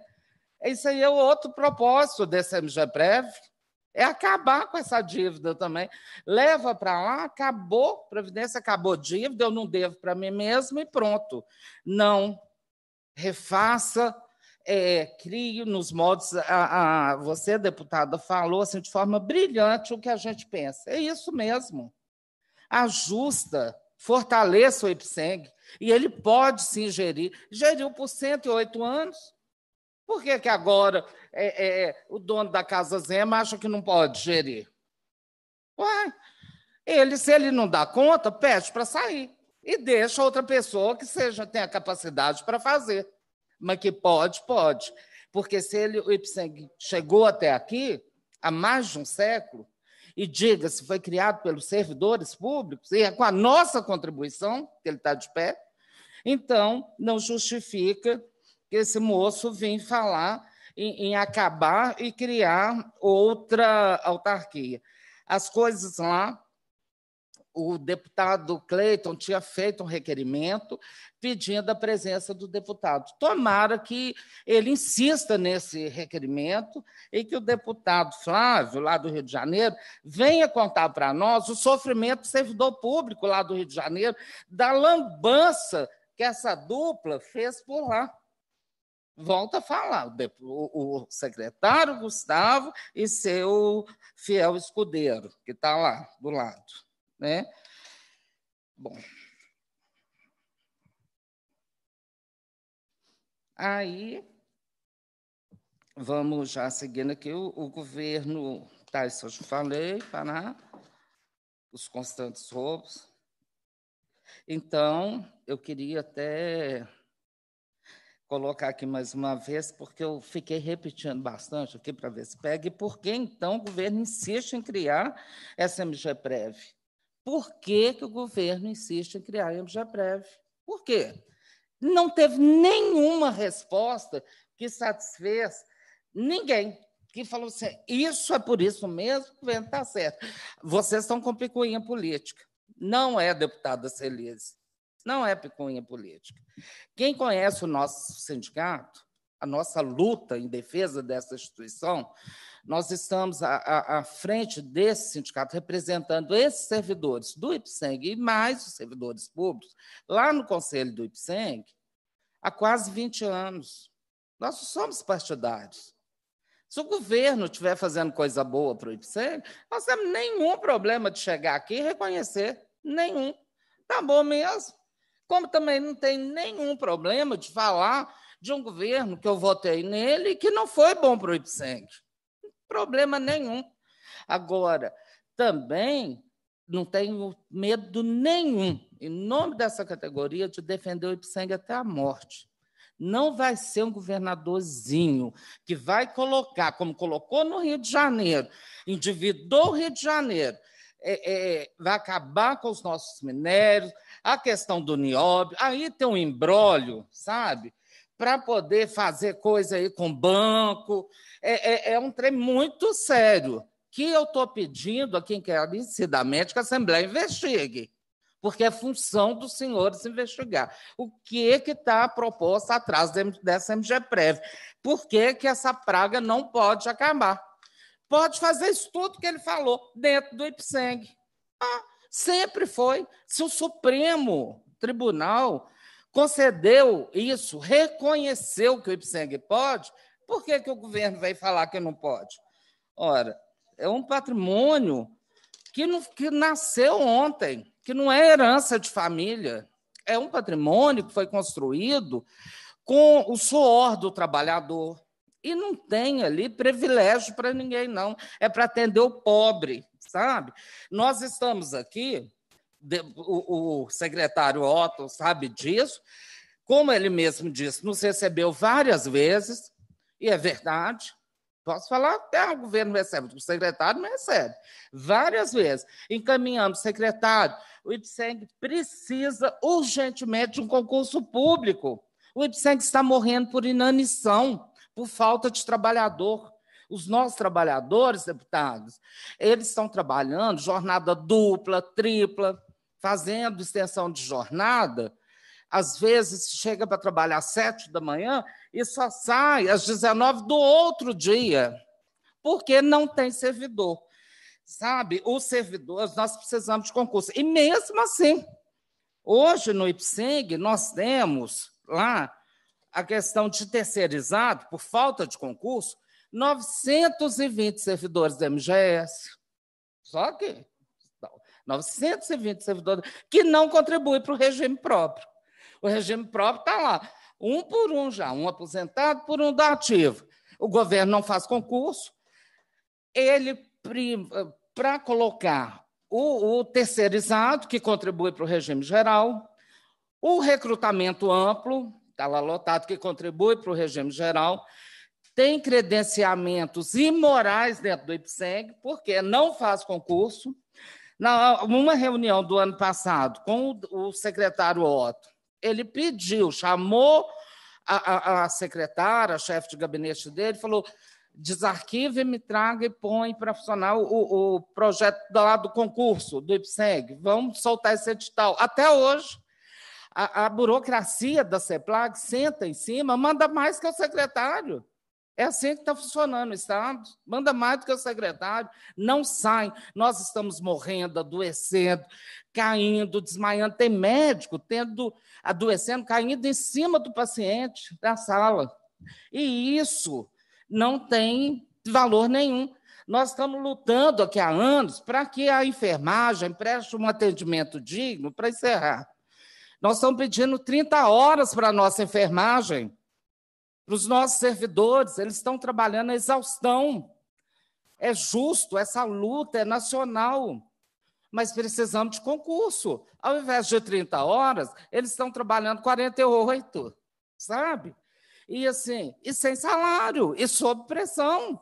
Porque se não fizer, ainda são cobrados, com, sem uns recebendo insalubridade, outros não. Então, assim, muitas coisas têm que ser feitas. Não deve se falar em criar nada, tem que se falar em fortalecer, fazer concurso, fortalecer, junto esses cacos que estão espalhados da Previdência aí pelo Estado, coloca, põe a estrutura. Você não vai gastar, pega a estrutura, põe dentro do IPSENG. Ué, qual que é o problema? E qual que é a diferença do nome, diretor-presidente? O importante para mim é a competência, é a vontade de dar certo. Não interessa se é uma diretoria ou se é uma, uma presidência. O importante é estar lá dentro, estar firme, com pessoas que conhecem e que sabem e não um aventureiro que veio de fora para gerir uma casa que ele não conhece. E só um recado para finalizar, e depois a gente fica para o debate, porque tem muita coisa que a gente queria falar. É, nós não vamos deixar, deputados, que manche a história do IPSENG, mas também não queremos que manche as suas histórias assinando o fim do IPSEG. Não a criação dessa aberração chamada MGPREV, e sim o fortalecimento do IPSEG. Muito obrigada. Obrigada, Tanieta. Tanieta, na minha opinião, só justificaria criar uma autarquia se estivesse criando um sistema de previdência capitalizada. Todo lugar onde cria o sistema de capitalização de previdência cria uma autarquia para gerir. O próprio secretário confirmou na fala dele que não está sendo criada a previdência de capitalização. Inclusive, já adianto que eu farei uma emenda no projeto, é, se a gente chegar a essa decisão no bloco de que faremos emenda, colocando que as novas contribuições não irão para esse fundo previdenciário criado. E sim, as novas contribuições ficarão no fundo financeiro, porque é o fundo financeiro que é o fundo solidário. Porque esse projeto está meio misturado. Né? A MGPrev, eu volto a insistir, o secretário não respondeu. Eu nunca vi dizer que no, no MGPrev, que ela tem objetivo pro, é, ter o equilíbrio atorial. Isso é de sistema de capitalização, não é de sistema de regime solidário. Sim. Então, tem uma, uma, um problema de constituição do projeto. O governo tem que definir de fato: olha, é fundo solidário? Se é fundo solidário, ele pode ficar perfeitamente no EPSENG, inclusive sendo fortalecido com toda essa estrutura que já existe no planejamento e é, é, em outros lugares onde tem administração de pagamento de benefícios. Né? Então, é, reforçando aí um pouco da, da sua fala. Nós vamos ouvir. Deputado, a... só um minutinho, só, só é, é, uma coisa, senão eu vou me perder. Eu gostaria que a emenda sua e do bloco, é, é, mas que fosse, antes de tudo, pela retirada dessa MGPrev para que, que ela fosse extinta, que ela não. Os outros pontos a gente pode discutir, mas que, que isso fosse extinto, banido Não, nós não podemos aceitar a criação de, desse, desse monstro. É, nós, nós vamos, o presidente da nossa comissão, que é o Celinho, Sim. avocou para si a relatoria e certamente Sim. ele vai estar ouvindo essas, essas contribuições que são muito importantes para compor o projeto, né? o relatório. Quero registrar a presença remota também do deputado Carlos Pimenta, que é presidente da Comissão de Saúde da Assembleia Legislativa. E mais aqui algumas perguntas. Uma da Janete, de Coronel Fabriciano. Não há transparência nas contas do IPSENG. Então, por que não fazer uma auditoria antes de qual, propor qualquer mudança? Marília, minha xará, de Belo Horizonte, Marília Maia, precisa fazer uma auditoria nas contas do IPSENG, dos servidores e beneficiários eh, pagaram suas contribuições. O PSDB surrupiou o FUNPENG, Hoje a dívida do Estado para com o Ipseng está em quase 20 bilhões. E aí como fica? Não é justo que, mais uma vez, os servidores vão ser ainda mais prejudicados. Eli de Lagoa Santa, para quem já trabalhou 100% de contribuição, como ficará se não tem a idade? Vai trabalhar 40 anos? Pois estamos cumprindo a regra antiga. Eli Diz Lagoa Santa, configurarão servidores que já cumpriram 100% do tempo de contribuição e já passam por duas reformas, pois já cumprem a regra de transição anterior. Bom, próximo, então, convidado é o Moisés de Oliveira Melo, presidente da Associação dos Contribuintes do Instituto de Previdência dos Servidores do Estado de Minas Gerais que vai participar de forma remota.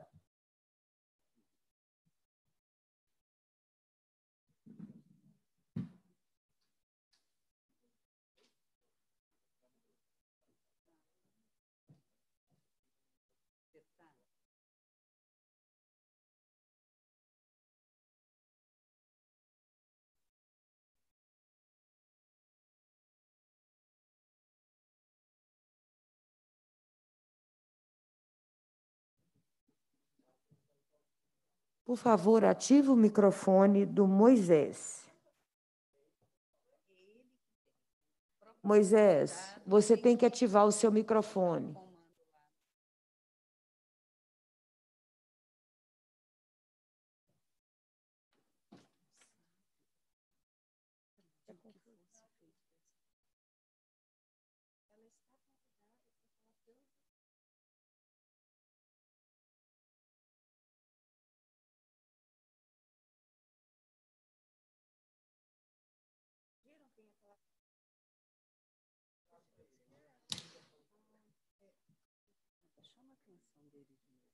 Moisés, você não conseguiu? Nós não estamos ouvindo, Moisés. Seu microfone não foi ativado. Nós vamos passar para o João Diniz Pinto, enquanto Moisés estuda aí como é que desativa o microfone. Aliás, como é que ativa, né? É, João Diniz Pinto Júnior, ex-presidente do Instituto de Previdência dos Servidores do Estado de Minas Gerais. João? É, boa tarde a todos. Marília, que está coordenando, presidindo os trabalhos dessa tarde. O deputado Celinho do Citrocel, que preside essa Comissão do Trabalho, da Previdência e da Assistência Social. Nós estamos, depois de 42 anos de serviço público, quando pensávamos que não poderíamos mais nos assustar com nada, nos enganamos, porque tomamos conhecimento e acompanhamos o, o, projeto proposto pelo governo, que nós nunca imaginávamos que um governo que ainda não conhece o Estado, tem todo da iniciativa privada, o próprio secretário de Planejamento disse na Assembleia que nunca tinha participado de uma audiência pública, fosse capaz de propor tanta maldade com o servidor público, que fosse capaz de acabar com tantos, tantos direitos e conquistas do servidor público. E o pior, né, a sua perda maior, que é a fragmentação do IPSENG. Antes que pudesse ser discutida uma reforma previdenciária, e ninguém descarta a necessidade, né, existem alguns condicionantes que a gente deveria levar em conta. Primeiro, como todo mundo está vendo, a, a crise sanitária. Segundo, né, a participação dos servidores, que foi, não foi é, permitida na construção desse projeto. Né? A falta de transparência e a autoridade para achar que tudo que propõe é correto e que vai ser aprovado. Nós não encontramos um cálculo atuarial que embasasse esse projeto. Encontramos um parecer que tenta justificar que 13 a 19 é a mesma coisa que 14%. Não tem um cálculo atuarial que identifique as reservas de benefícios concedidos a conceder levando em conta o universo de servidores públicos, né, do sexo masculino, feminino, salário, quantidade, né? Isso não existe. Então não tem como falar de previdência sem que haja um cálculo atuarial. Nós também não podemos falar de reforma sem que se leve em conta que a gente ouve todo dia, né, parecendo um samba de, de uma nota só, que o Estado está deficitário, que existe um déficit previdenciário, que a culpa é do servidor público. Não, o servidor público não tem, não tem culpa. O servidor público tem um crédito com o Estado de 14,3 bilhões de reais. Bilhões de reais. Só na parte previdenciária. Mais 6,9 bilhões de reais na parte da saúde. Né? Nós não temos alternativas construídas pelo atuário. Nós não temos um plano, uma, uma proposta de um plano de amortização desse, desse déficit previdenciário. Né? Nós não conhecemos o que tem dentro do FUNFIP, no Fundo Financeiro, que eu ouvi a deputada Marília, que entende muito de previdência, dizer que é um fundo solidário. Não é não, deputada. É um fundo que impôs ao servidor né, de uma maneira odiosa todo o sacrifício decorrente da, da, do surrupiamento das suas contribuições, sem nenhuma satisfação. Criar outro fundo financeiro sem fazer uma auditoria nesse fundo FUNFIP, por quê? Se não for dessa forma, fica parecendo que estão passando a borracha na dívida ou no crédito que o servidor tem com, com o Estado, e isso fosse esquecido. O servidor não permite isso, não ele não admite que as suas contribuições sejam desviadas como foram até hoje. Então, ele quer de volta o seu FUNPENG. Ah, mas o FUNPENG é fundo de... Não, não é fundo de capitalização. É um fundo que faz a capitalização das suas reservas. Público. O fundo que estão propondo para substituir aí o fundo previdenciário é um fundo, se vocês prestarem atenção, sem personalidade jurídica. O fundo financeiro é um fundo sem personalidade jurídica o que, é que isso significa? Isso significa, pelo que nós levantamos e procuramos saber, né, uma iniciativa, uma, uma, uma pré-providência é, para a, a, a unificação do regime geral de previdência de trabalhadores da iniciativa privada com, com o regime próprio, ou seja, vão acabar com o regime próprio do servidor. São fundos privados construídos a pedido do mercado, esse grande fundo nacional é o anseio de todo o empresariado e aqueles que defendem um Estado pequeno para que o capital financeiro prevaleça. Então, o servidor não é bobo mais, não. Ele não admite que essas coisas sejam feitas dessa forma simplória. Toma aqui, ó, eu tenho maioria na, na Assembleia e vamos aprovar.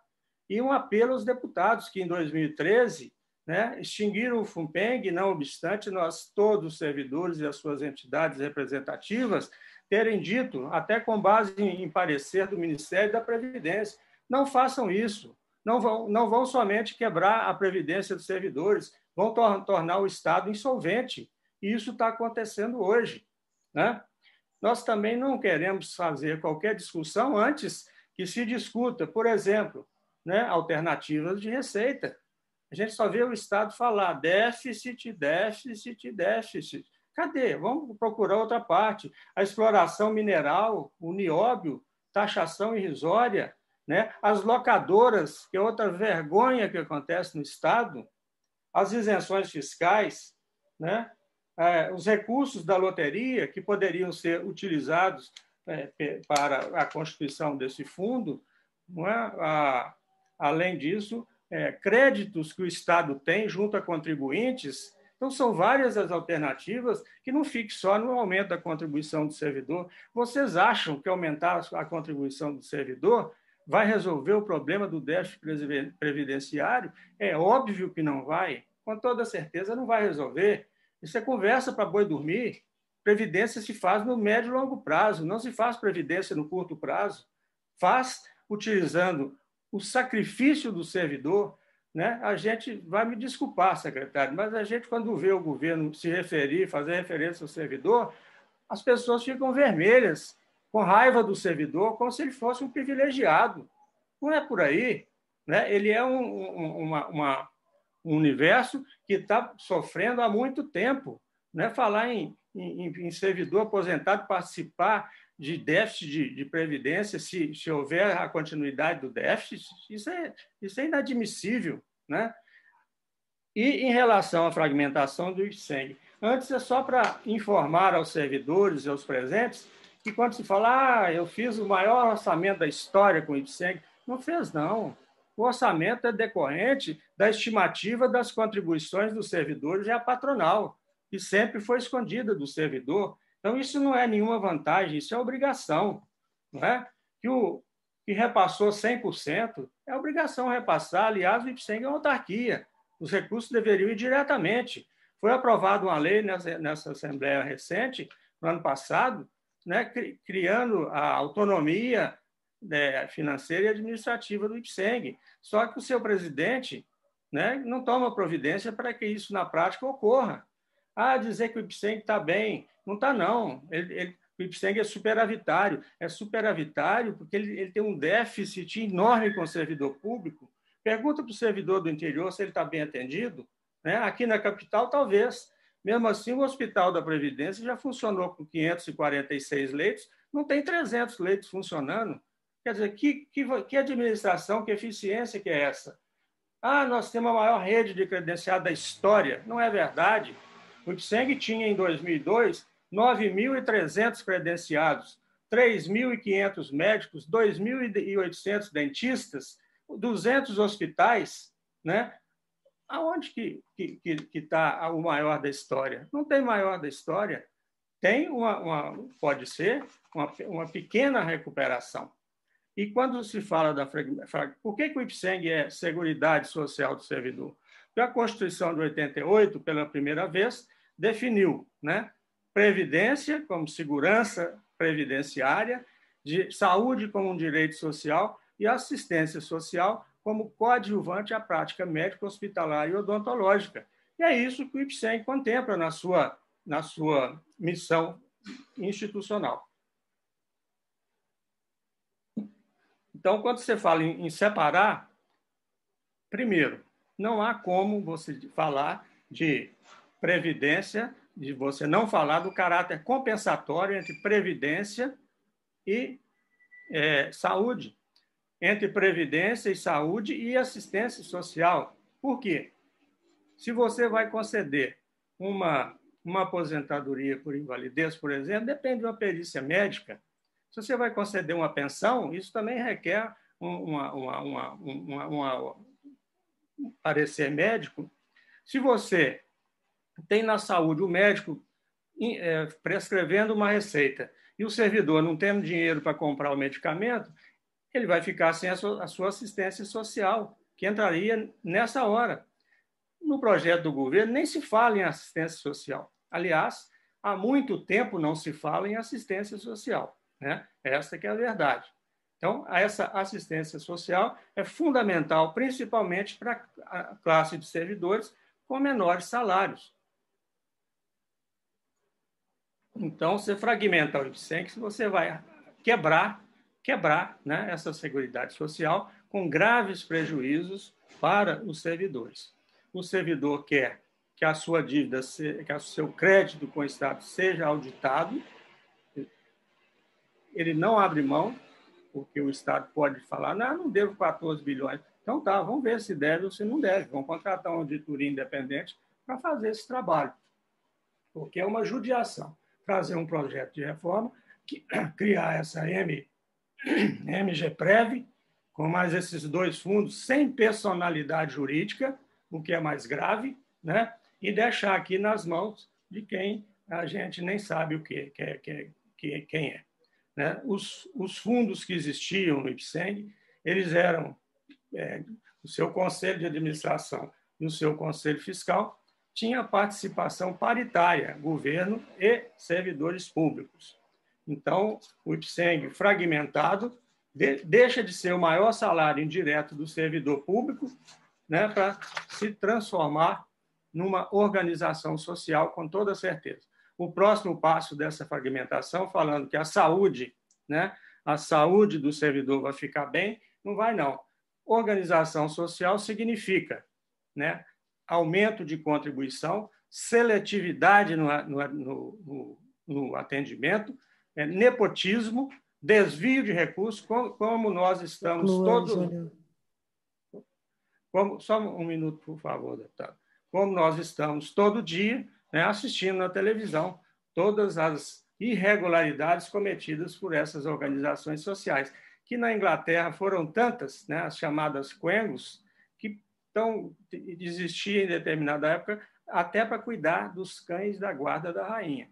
E nós não queremos isso para o servidor. Nós queremos um servidor público consciente, né, valorizado, num estado que não seja mínimo, né, que seja é, tenha a sua responsabilidade pública, que seja indutor de políticas públicas, principalmente para aquelas pessoas excluídas. E os servidores públicos hoje são considerados pessoas excluídas e não detentoras de privilégios. Só para terminar, eu queria registrar que estou deixando aqui o posicionamento por escrito e algumas, caso haja, que nós esperamos que não, né, a continuidade de tramitação, algumas emendas encaminhadas ao, ao deputado Celinho Citrocel, presidente da Comissão do Trabalho, da Previdência e da Assistência Social. Muito obrigado e estamos às ordens aí para o debate. Obrigada, João Diniz. Nós vamos ouvir agora o Moisés. Antes, eu faço algumas perguntas das pessoas que participaram. Da Marília Maia Coutinho, Preisner, de Belo Horizonte, auditoria, senhor Otto. Nós, servidores públicos, queremos que seja feita uma auditoria em Brasília, fizeram uma CPI da Previdência Social. Não encontraram déficit. Portanto, senhor Otto, faça aqui uma auditoria, assim veremos que não existe déficit. Da Viviane, de Belo Horizonte. Então, por que o acordo da Lei Candir? Essa observação foi feita durante a fala do secretário, senhor Otto. Da Janete Nogueira de Jesus, de Coronel Fabriciano, se o Estado de Minas Gerais está quebrado, como gosta de alardear o governador, por que não aumentar o imposto sobre as grandes fortunas, que é atualmente o menor do mundo? Essa medida aumentaria exponencialmente a arrecadação do Estado, sem superonerar os menores salários, com via de regra, até os dias atuais. E da Sandra Margarete Silvestrini de Souza, de Belo Horizonte, é, nós tínhamos o FUNPENG, que foi extinto. Os recursos foram para o Caixa Único do Estado. E agora o Estado quer cobrar novamente dos servidores públicos por uma dívida já paga. Bom, próximo então, Moisés. Moisés, você conseguiu destravar? Sim. Ok, estou ouvindo. Com a palavra, então, dez minutos. quero cumprimentar, primeiramente, secretário Otto, Otto Levi, ao deputado Cilinho, ao meu amigo companheiro João Diniz e a presidente da mesa, deputado Maria. Nós estamos num momento de muita confusão. Justamente o IPSENG ele sofreu no passado esse bombardeamento do governo. Essa situação que nós vivemos hoje, ela precisa ser passado, passar uma, um, um, um levantamento total do passado, porque foi milhões e milhões de contribuições dos servidores públicos ao IPSENG, e que sumiram esse dinheiro. Eu quero deixar aqui registrado em 2002, quando se promulgou a reforma a 64. E nessa reforma, no artigo 8 dizia que 60% da dívida que o Estado tinha com o IPSENG seria nula. E 40% seria repassado conforme a lei. Bom, pela primeira vez na minha vida que eu vi uma lei tão importante como era a reforma 64, citar percentual sem definir qual era o valor original. Aí nós entramos na justiça, foi uma luta judicial imensa, exigindo que o governo apresentasse a dívida. E depois de cinco anos, o Supremo Tribunal determinou que o governo apresentasse. E quando foi, quando foi apresentado o relatório, depois de cinco anos, descobriu-se que a dívida era de 1 bilhão 680 milhões de reais. E a 9.380, a lei que definia, que definia a legalidade do IPSENG, no seu artigo 5 determinava que 40% da contribuição dos servidores para com o fundo de pensão. O IPSENG não tinha responsabilidade no caso da, aposentadoria. Pensão seria repassado para o IPSENG da assistência à saúde aos servidores públicos. E isto, até hoje, eu não sei se foi se os 40% de 1 bilhão 680 milhões foi por repassado. Se não for repassado. E o que veio acontecendo com essa instituição, com esse enfraquecimento total, e agora o governo vem propor um discurso que eu vejo, que não é um discurso voltado a uma solução, pelo menos por 20 anos. Que não pode. Diz daqui, o próximo governo, os outros que vierem, vão mandar para, para a Assembleia proposta, como foi feito no passado, para assumir a reserva do fundo e volta a mesma discussão, porque as leis sempre deixam, não há uma consistência jurídica forte. O Estado não pode pôr a mão nos valores do fundo. Pode até colocar, mas que seja calçado com o título da dívida. É uma garantia para o servidor. Eu vejo quando o ex-presidente Júnior, Júnior Diniz, João Diniz, coloca, eu coloco corretamente essa situação. Mas eu vim aqui para falar em outra coisa. Minha preocupação é a questão de saúde. Até porque nós temos uma massa de, de, de servidores que há alguns anos atrás era a força financeira da instituição, hoje são aposentados e idosos.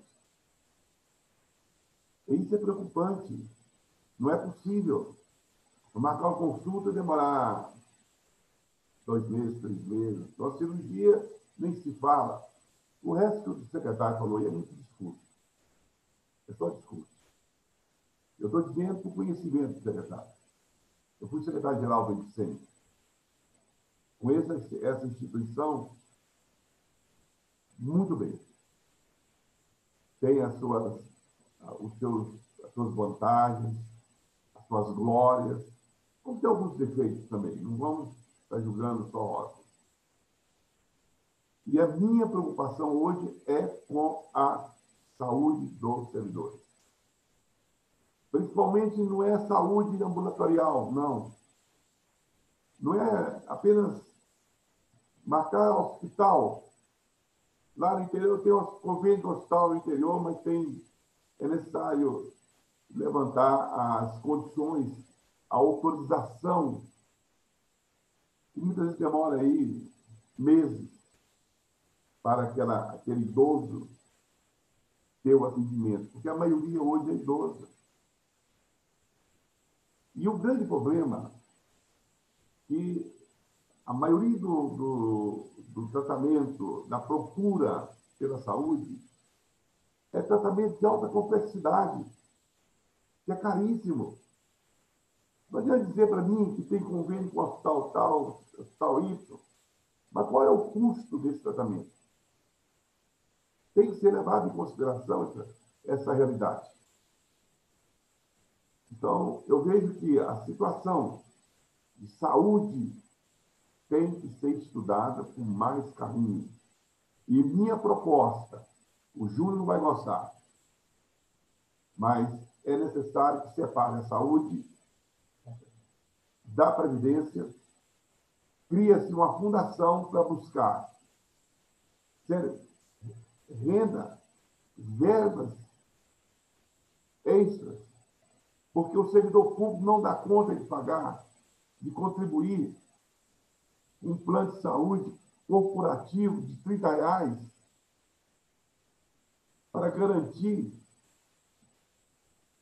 tratamento de alta complexidade, nunca nós vamos conseguir. Nunca. Essa situação tem que ser discutida, posta na mesa, porque é um desrespeito a esses profissionais, essas pessoas que deram a vida pelo Estado, quando chega no final da sua vida, ela tem dificuldade de ter um tratamento básico, ou, ou então ter que concorrer, comprar plano de saúde particular, e que hoje está dando conta de pagar mais, porque não tem aumento não tem ajuste do benefício. Um plano de saúde que tem mais de 70 anos, 75 anos, no mínimo é R$ 1.200 a R$ 1.300. Então, isso tem que ser levado em consideração. O que nós estamos propondo é algo mais flexível, para buscar verbas extras. Porque o Estado não vai pôr dinheiro, não. Está vendo aí? O secretário está colocando. E o servidor não dá conta de pagar um plano de saúde à altura. Então, nós temos que buscar alternativas. E quais são essas alternativas? É buscar tratamento de alta complexidade. Isso tem que ser feito, só alcança fazendo convênio. E esse convênio, como Fundação, ao Ministério da Saúde,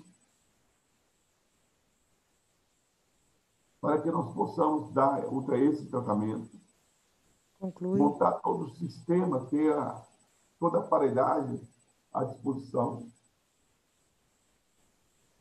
E outro grande problema nosso, nós temos um problema seríssimo, que é o atendimento do interior. Nós temos que voltar ao hospital de Belo Horizonte, da capital, como um hospital de referência, que foi no passado. Você sabe, Júlio, disso. Você era meu, meu superintendente de planejamento. Você sabe o que aconteceu, o que nós fazíamos naquela época. E chegar a um hospital hoje da situação que está. Senhor Moisés, conclui, por favor. Sim, Estou terminando. Então, eu quero fazer um apelo à comissão para que faça esse estudo,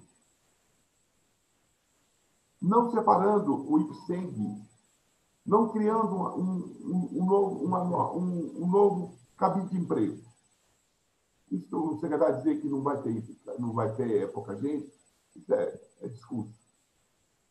Não é criar esse MG prévio, é o IPSEND. A parte previdenciária é o IPSEND.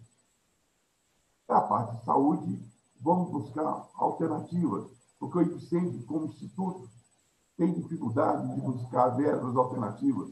E sem verbas alternativas, o servidor não tem condições de manter a assistência à saúde à altura. É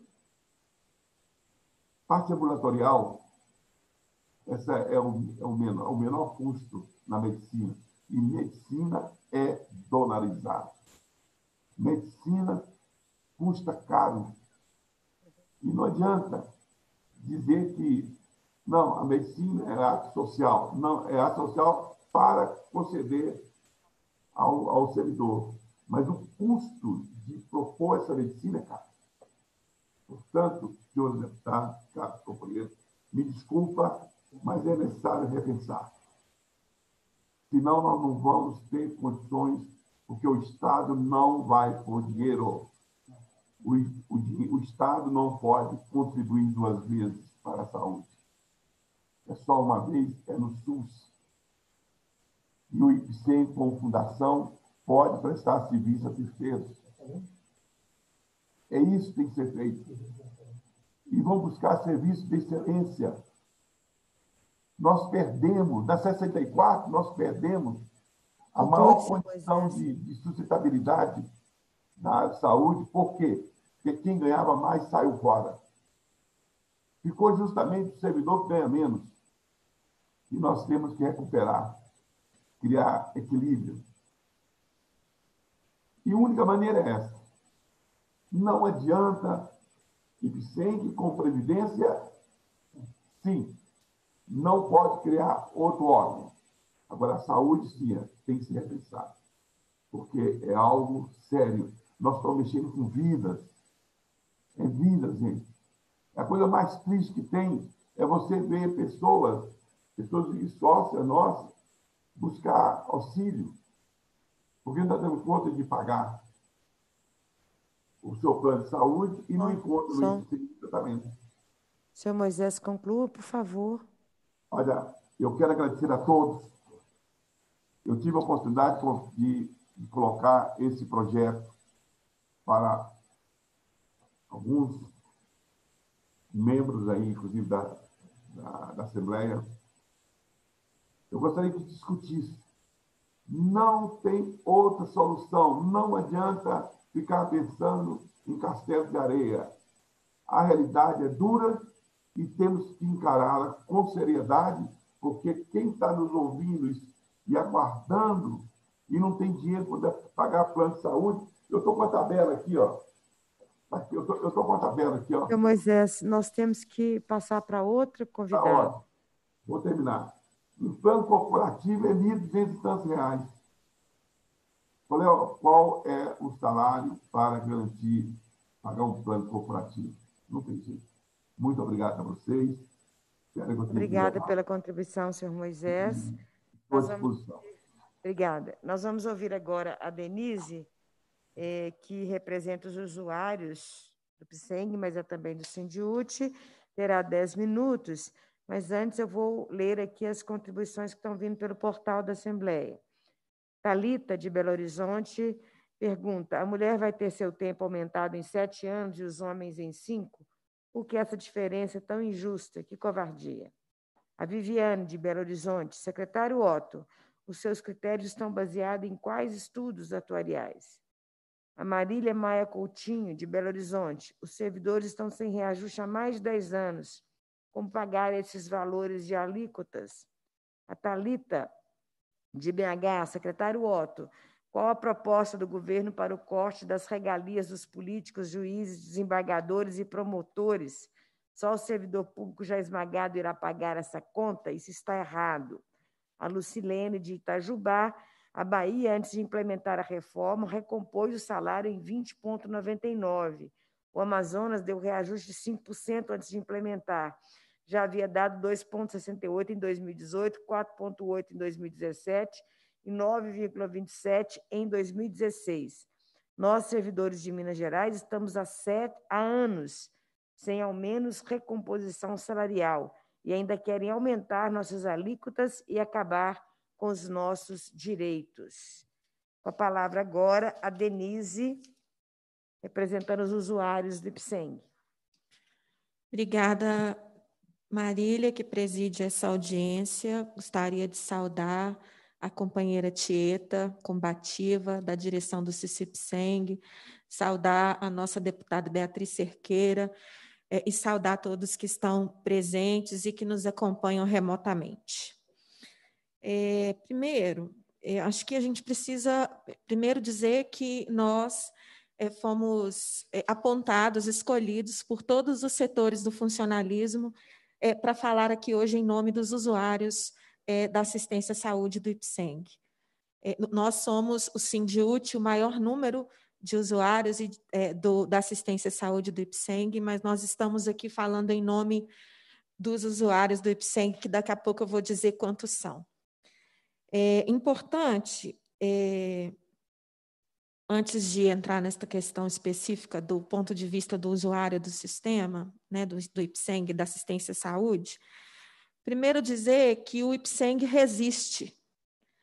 É, a, na exposição da Tieta é, e nas, nas memórias anteriores das lutas que nós já fizemos aqui, é, sempre há uma discussão em relação a, a, ao desmonte, ao sucateamento da assistência à saúde do Ipseng.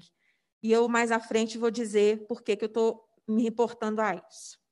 Também é importante destacar que nós não podemos normalizar a morte. É, é isso que está acontecendo. Tem uma normalização da morte. Hoje, Minas Gerais bateu mais um recorde. Nas últimas 24 horas, 170 mineiros e mineiras faleceram de Covid. Nós, da educação, todos os dias lamentamos a perda de algum companheiro nosso em alguma região do estado. Hoje mesmo nós já perdemos uma companheira aposentada, professora lá de Medina, no Vale do Jequitinhonha. Então, nós não podemos normalizar a morte, nós não podemos normalizar o que a população desse Estado, e nós estamos incluídos na população desse Estado como servidores, estamos enfrentando. Nós não podemos normalizar o despejo de uma escola ou o despejo de famílias, conforme foi dito aqui pelas deputadas é, no, no, início da, desta audiência. O IPSENG é, são 824.821 beneficiários da assistência à saúde. Esse dado é de 2000, fevereiro de 2020. Eu vou repetir. 824.821 beneficiários da assistência à saúde do Instituto do, do IPSENG. 38.476 pensionistas, o número é de janeiro de 2020. 3.068 servidores ativos do IPSENG, 3.253 servidores inativos. A rede de assistência tem 2.223 médicos da rede própria e credenciada, 545 dentistas, 221 hospitais, 561 laboratórios e 921 clínicas. Em 2019, as consultas foram 1 milhão 712 mil 719 consultas feitas. É, atendimentos nas agências do interior, 222.904, e atendimentos médico-hospitalares, 272.572. Esse dado é de esses dados de atendimento é de 2019. E quando nós fomos, é, o Sindut foi, foi, foi é, chamado a falar em nome dos usuários do sistema, os usuários da assistência à saúde, nós passamos a conversar e a aprofundar e a perguntar para as pessoas na vida concreta o que é que significa assistência à saúde do IPSENG. É o ideal? Não, não é o ideal. Tem que ser ampliada? Precisa ser ampliada, porque o Estado é imenso, tem 853 municípios, mas uma coisa me saltou aos olhos. As pessoas acreditam, defendem e lutam pela manutenção da assistência médica desse instituto, porque ela é feita com excelência, apesar do sucateamento, apesar da tentativa de desmonte, apesar da ideia, e não me digam que não é, nós podemos concluir, a fala do governo sempre aponta nesta direção de privatização. Não está escrito na PEC, não está escrito no, no PLC, não consta das falas, mas consta de outros documentos e consta do projeto que o governo apresenta para a sociedade mineira de diminuição do Estado. Isso não é nenhuma novidade para ninguém que está aqui e para ninguém que está nos assistindo é, através dos canais da TV Assembleia. A categoria e os usuários, os usuários defendem a assistência médica. Eu li relatos que emocionam, pessoas dizendo: olha, meu marido chegou praticamente morto ao HGIP. E em dois dias ele foi, ele foi submetido a uma cirurgia cardíaca de altíssima complexidade e a sua vida foi salva pelo Instituto. Experimentem digitar no Facebook, obrigado Ipseng, vocês vão ver vídeos de pessoas dizendo por que é que agradecem o atendimento que tiveram, mães agradecendo o tratamento que seus filhos tiveram é, servidores com tratamentos de doenças graves, dizendo sobre a importância da manutenção desse direito do trabalhador. É, tem uma outra questão também que é importante que a gente diga. Todas as vezes que a gente ouve aqui integrantes do governo é, e a discussão específica em relação à reforma e o que ela significa para o servidor público, tem sempre uma insistência em se dizer que não significa retirada de direitos, que não significa nenhum prejuízo aos servidores. Mas todos os elementos que compõem esta reforma apontam para isso. Todas as discussões em relação a cálculo de, de benefícios de aposentadoria, retirada da, da, da, assistência à saúde do Instituto, que vai ser uma consequência se esta, se ele, se ele for dividido, se a sua gestão for dividida. Imaginem, é, além disso, além disso, é, tu, a, a, sem falar na redução nominal do salário no final do mês, caso a reforma seja aprovada com as alíquotas que estão propostas pelo governo. Nós fizemos um cálculo, não é alvo dessa audiência, mas é importante que a gente sempre discuta. Sabe, Marília, pelas regras é, de cálculo de benefícios, a redução, a perda salarial em relação ao salário da ativa, de acordo com as regras colocadas pela reforma, gira em torno de 67% de redução do salário que a professora recebe na ativa e do que ela vai receber depois de passar 40 anos na sala de aula, de acordo com as regras que estão previstas no projeto, no, nos projetos de reforma. Isso é importante que a gente discuta. E aí, olha só o cenário é, é, é, pré, que, que, está por vir para o usuário do IPSENG, é, para os seus familiares, para o trabalhador, para o servidor público do Estado. Contribuir mais receber menos e ter negado o seu direito à saúde. Porque não é outra coisa o que nós estamos discutindo aqui. Então, é importante que isso fique muito bem explicado, porque a defesa que nós sempre fizemos, intransigente, porque neste caso nós somos sim intransigentes, do IPSENG, da sua rede, da ampliação da sua rede de atendimento, e, além disso, toda a excelência que a gente viu nos relatos, e eu vou te mandar, viu, Badia, os relatos das pessoas, é, Tieta, vou te mandar, e a gente vai publicar os relatos das pessoas que foram atendidas e que manifestam é, o desejo da ampliação do atendimento, porque o serviço prestado pelo servidor público no hospital, nas, uni, nas unidades, no, no, hospital, no HGIP, é de excelência. As pessoas chegam a dizer que se sentem confortadas enfrentando uma quimioterapia, porque sabem que tem um servidor público do lado delas que está no mesmo barco, que está lá atendendo.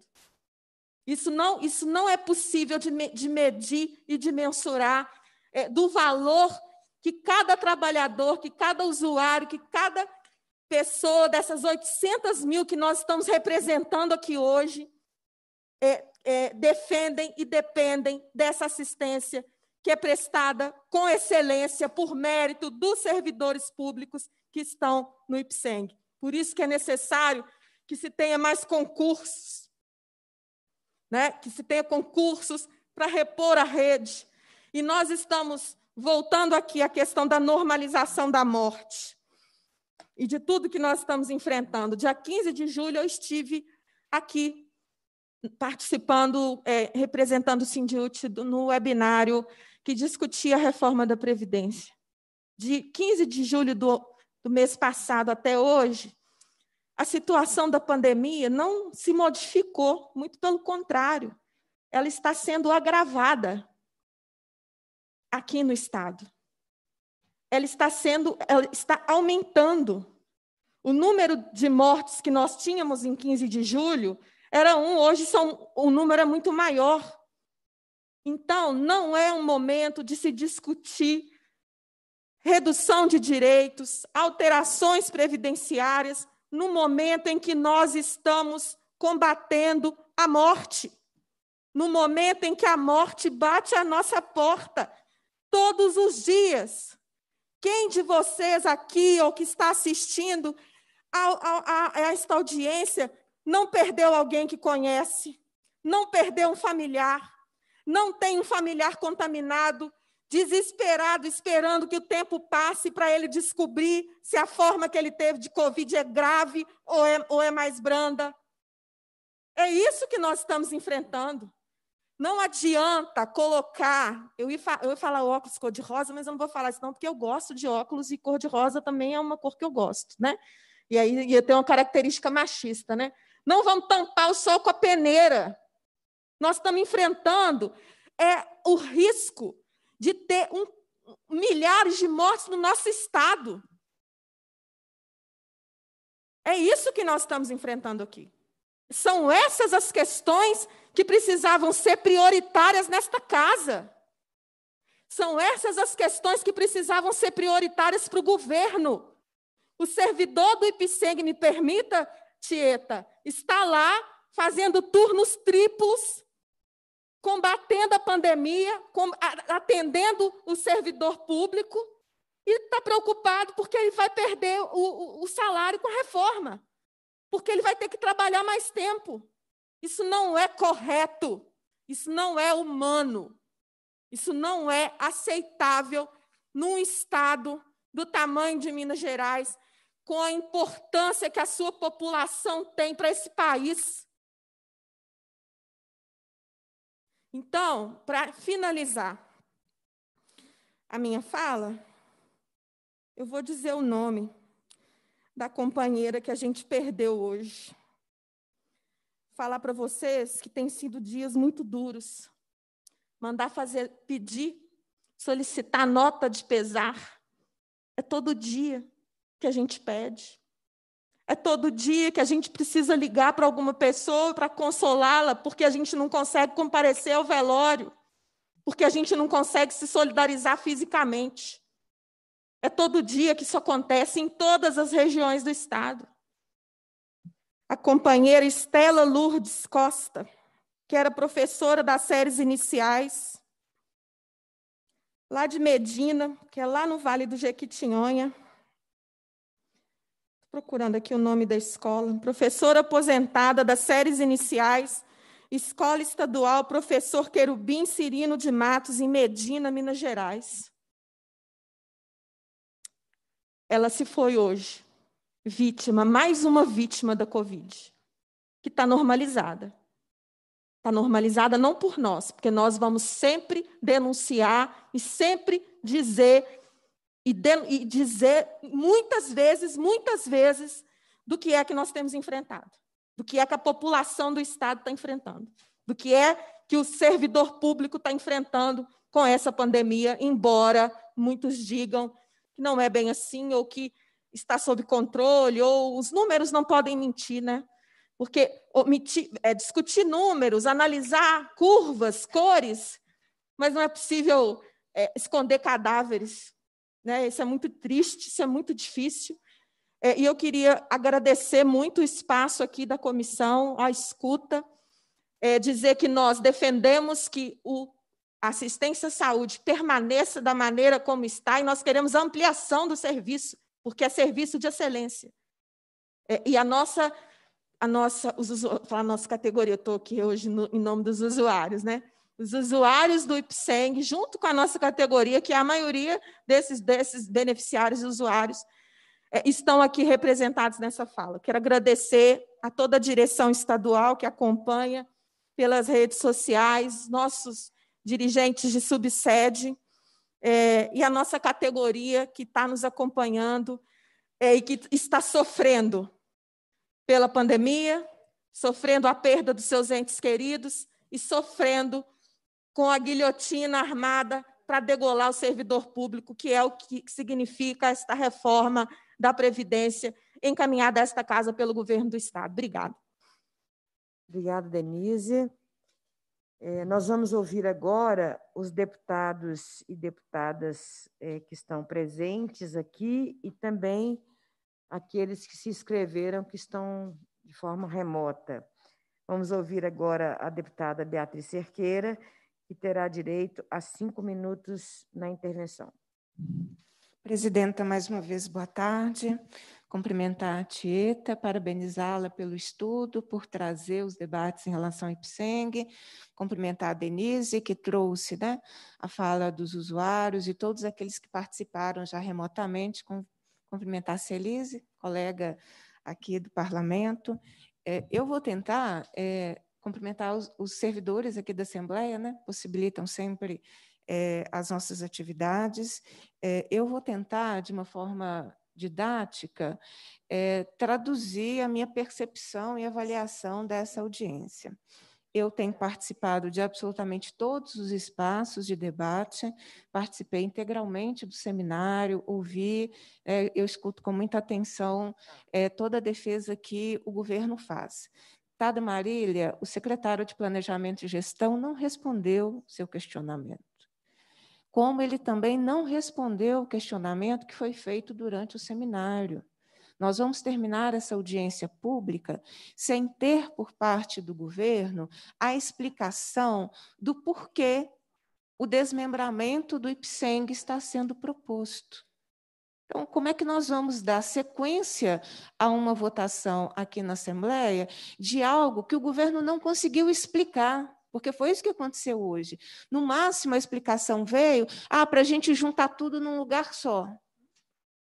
É, é isso que justifica um, desmembramento de uma instituição centenária como é o IPSENG? É para juntar tudo num lugar só?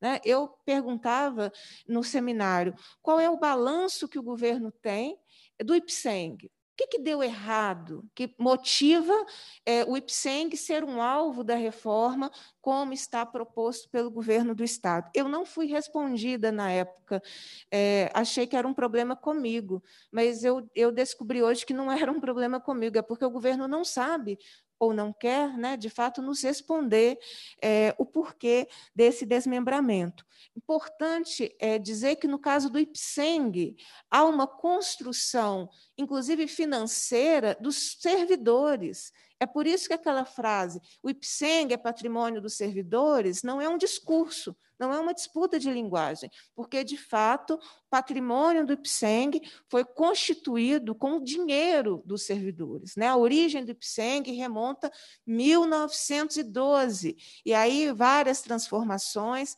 até nós chegarmos ao debate do IPSENG como nós o conhecemos hoje. Então, eu queria primeiro essa constatação. Nós saímos dessa audiência sem entender por que o governo quer desmembrar é, o IPSENG. Segundo, é, nós deveríamos, então, começar debatendo uma auditoria, para tentar compreender as responsabilidades de sucessivos governos que foram retirando recursos, seja da Previdência, seja do próprio IPSENG Saúde, e que nos levou a essa situação, porque o discurso de déficit, ele tenta conversar com a população, está dizendo não tem dinheiro, a gente tem que reformar, mas se não tem dinheiro, como que nós chegamos a essa situação? Então, eu me lembrava, por exemplo, do passivo previdenciário que o governo assumiu em negociação com o Ministério, é, com, com, o Ministério da Seguridade Social, o Ministério da Previdência, em 2010, um acordo homologado no STJ. Que impacto esse, esse passivo previdenciário teve para a Previdência de Minas? Não sei. Nós deveríamos estar debatendo isso, né? Isso foi na gestão do PSDB. É, que impacto teve em 2013 a extinção do FUNPENG? Mais de 3 bilhões de reais com a extinção do FUNPENG. Foi outro dia, 2013, para debate previdenciário, é, né, que é, é geracional, 2013 está logo ali. Que impacto teve quando, em 2014, o governo do PSDB pegou o dinheiro que estava na conta do IPSENG e colocou no Caixa Único? Que isso também é pouco falado, porque foi via decreto, não precisou de projeto de de lei, porque o, o fecharia 2014 com dinheiro em caixa. Né? Então, que impacto isso teve? O governo devolveu depois o dinheiro que pegou em 2014 é, para que foi retirado do IPSENG. Então, é preciso que essas respostas nos venham, porque a responsabilidade está muito mais nas gestões do que nos servidores. E, portanto, não podemos ter nenhuma medida que responsabilize o servidor com esses discursos que foram feitos aqui, né? mais eficiência e qualidade nos serviços prestados. É, outras frases que foram ditas aqui, né? Preciso acompanhar as transformações sociais. É, preciso acompanhar as transformações sociais com transparência de modo que a gente compreenda o conteúdo do que está sendo proposto. Mas, para finalizar, eu vou didaticamente explicar o que não está sendo dito. É, quando o governo aponta que quer o IPSENG como gestor do plano de saúde, e com isso quebra a ideia é da seguridade, né, que é assistência, previdência e saúde, ele caminha para a privatização do IPSENG não está nesse projeto de lei complementar, não está nessa PEC, não precisa estar, mas quando ele retira todas as demais funções, quebra a Seguridade Social, nós estamos, então, caminhando para uma ideia, porque, inclusive, teve uma comparação aí com o plano de saúde privado, é, com a ideia da privatização do IPSENG. E aí a ideia da privatização do IPSENG, ela se é, fortalece quando você vê que todo o patrimônio do IPSENG, que tem dinheiro do servidor, será transferido. Então, eu desmembro o IPSENG, eu retiro dele o patrimônio e eu vou caminhar cada vez mais para uma gestão privada. Para vocês acharem que eu não estou tirando isso da minha cabeça, é, eu estudei um pouquinho para vir para essa audiência e eu achei, olha que interessante, é, algumas propostas que eu gostaria de ler. Assumir o bem-estar como conceito principal acerca da saúde. Problema da saúde não se limita à insuficiência de recursos. Está aí tudo bem, né? Melhorar o atendimento por meio da realocação do orçamento disponível, estabelecendo prioridades mais técnicas e menos políticas. O governo essa é importante. O governo não deve ser o responsável direto pela oferta da saúde. Gestão compartilhada de equipamentos públicos da saúde por meio de OS e parcerias público-privadas, como forma de melhorar os serviços de saúde à população. Traduzindo, privatizações.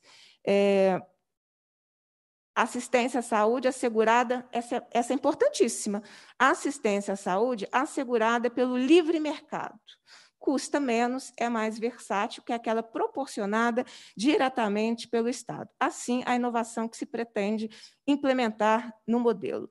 De onde é isso? É o plano de governo do, do, atual, do atual governador. Então, ele já havia colocado o que ele pensa sobre saúde, que na visão dele não é pública, não é um direito, é, e, portanto, o que ele pensa sobre o IPSENG.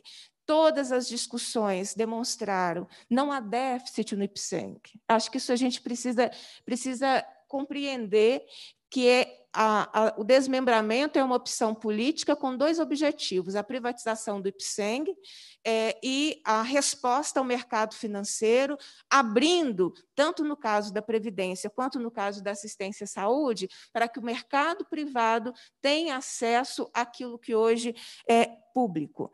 É, mas não tem déficit, não tem uma gestão ruim, não tem problemas, ninguém apontou isso, está ficando cansativo. Né? Nós vimos aqui a reprodução da fala do governo, que foi do mesmo seminário, mas que não responde concretamente por que do, desmembra, do desmembramento. É, uma política importante, com ela eu termino, seria uma política de concursos públicos. Você fortalece previdência própria quando você tem pessoas que a ela contribuem. É, no caso do, do IPSENG, eu quero ainda destacar, para finalizar, que não só os servidores efetivos fazem parte, nós temos uma massa de servidores designados que fazem parte do IPSENG e que, para esses servidores designados, só na educação são mais de 114 mil, é, é, uma, é uma política de assistência à saúde e de segurança social muito importante. Então, é, da nossa parte, a gente segue a luta é, na defesa do IPSENG contra essas propostas, e aí, quanto mais eu escuto o governo, mais convencida eu estou de que não tem que ter MGPREV, de que não tem que ter desmembramento, que o IPSENG precisa ser fortalecido. E finalizo, eu vi aqui um Twitter do governador dizendo que mandou suspender é, o despejo lá em, em Campo do Meio, governador, é, mas governador atrasado. Né? Porque tem dias, deputado André Quintão não está aqui porque passou o dia mediando esse conflito. Eu procurei o governador, eu procurei o comando da Polícia Militar. Tem dias que nós buscamos a mediação. Governos têm que aprender a mediar. Esse é um governo que não conversa. Depois de um dia inteiro, depois de, do terror vivido pelas famílias, fez a suspensão. Então, assim, é, eu lamento um governo que tenha uma postura. É, a foto das, dos livros sendo transportados, que governo ataca a escola?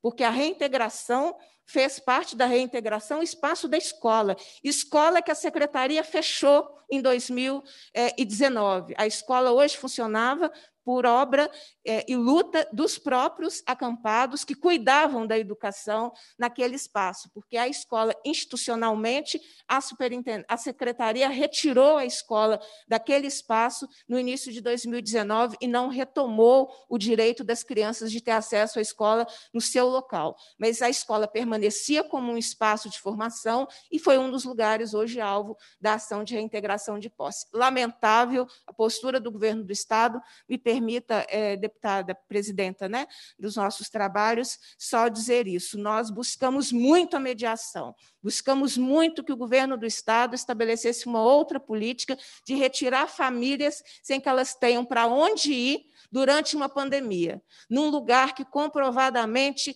produz. Produz mais do que essas terras que ficam para especulação. Eu tomo café de lá, eu tomo café produzido em Campo do Meio. É disso que nós estamos falando, da vida concreta que as pessoas produzem não só para sua subsistência, mas produzem para toda aquela região. Então, lamentável, desumano o comportamento do governo do Estado nesse dia 12, que é um dia dos direitos humanos. Olha a contradição. É um dia dos direitos humanos com o governador do Estado que praticou essa desumanidade. Foi avisado e foi avisado é, de tudo que poderia ter, ter acontecido e das mediações que todos nós pedimos. Deputada, agradeço, parabenizo a Comissão do Trabalho pela iniciativa da audiência pública, deixando aí o nosso compromisso de continuar fazendo a luta contra a reforma da Previdência. Obrigada, deputada Beatriz. Eu consulto a deputada Celisla Viola, se quer fazer uso da palavra. Não? Bom, nós temos aí o deputado Betão, que está inscrito. Mas antes eu queria dizer, deputada Beatriz, eu concordo com Vossa Excelência, inclusive no início da minha fala, eu manifestei a minha solidariedade, mas quero dizer que ainda bem, antes tarde do que nunca. Felizmente, o governador se sensibilizou com aquelas famílias, com o sofrimento humano daquelas famílias e está fazendo justiça, que é deixar elas lá produzindo, garantindo a sua sobrevivência. Né? Vamos lá, então. Depu... Ah, deputado Betão fala primeiro, depois deputado Celinho, eu faço a consideração final e passo para o senhor Otto. Presidenta, só, um, só uma observação do que nós acabamos de dizer.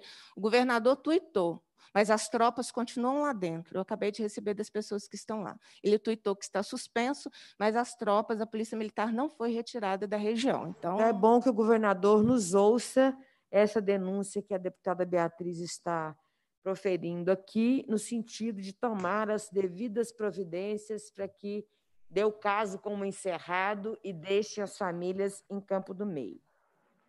É, vamos lá, então, deputado Betão. Obrigado, presidente. Me escuta bem?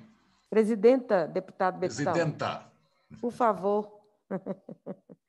Você está vendo aqui que hoje nós temos pela primeira vez três mulheres na mesa dessa dessa comissão. Né? Então, fala presidenta.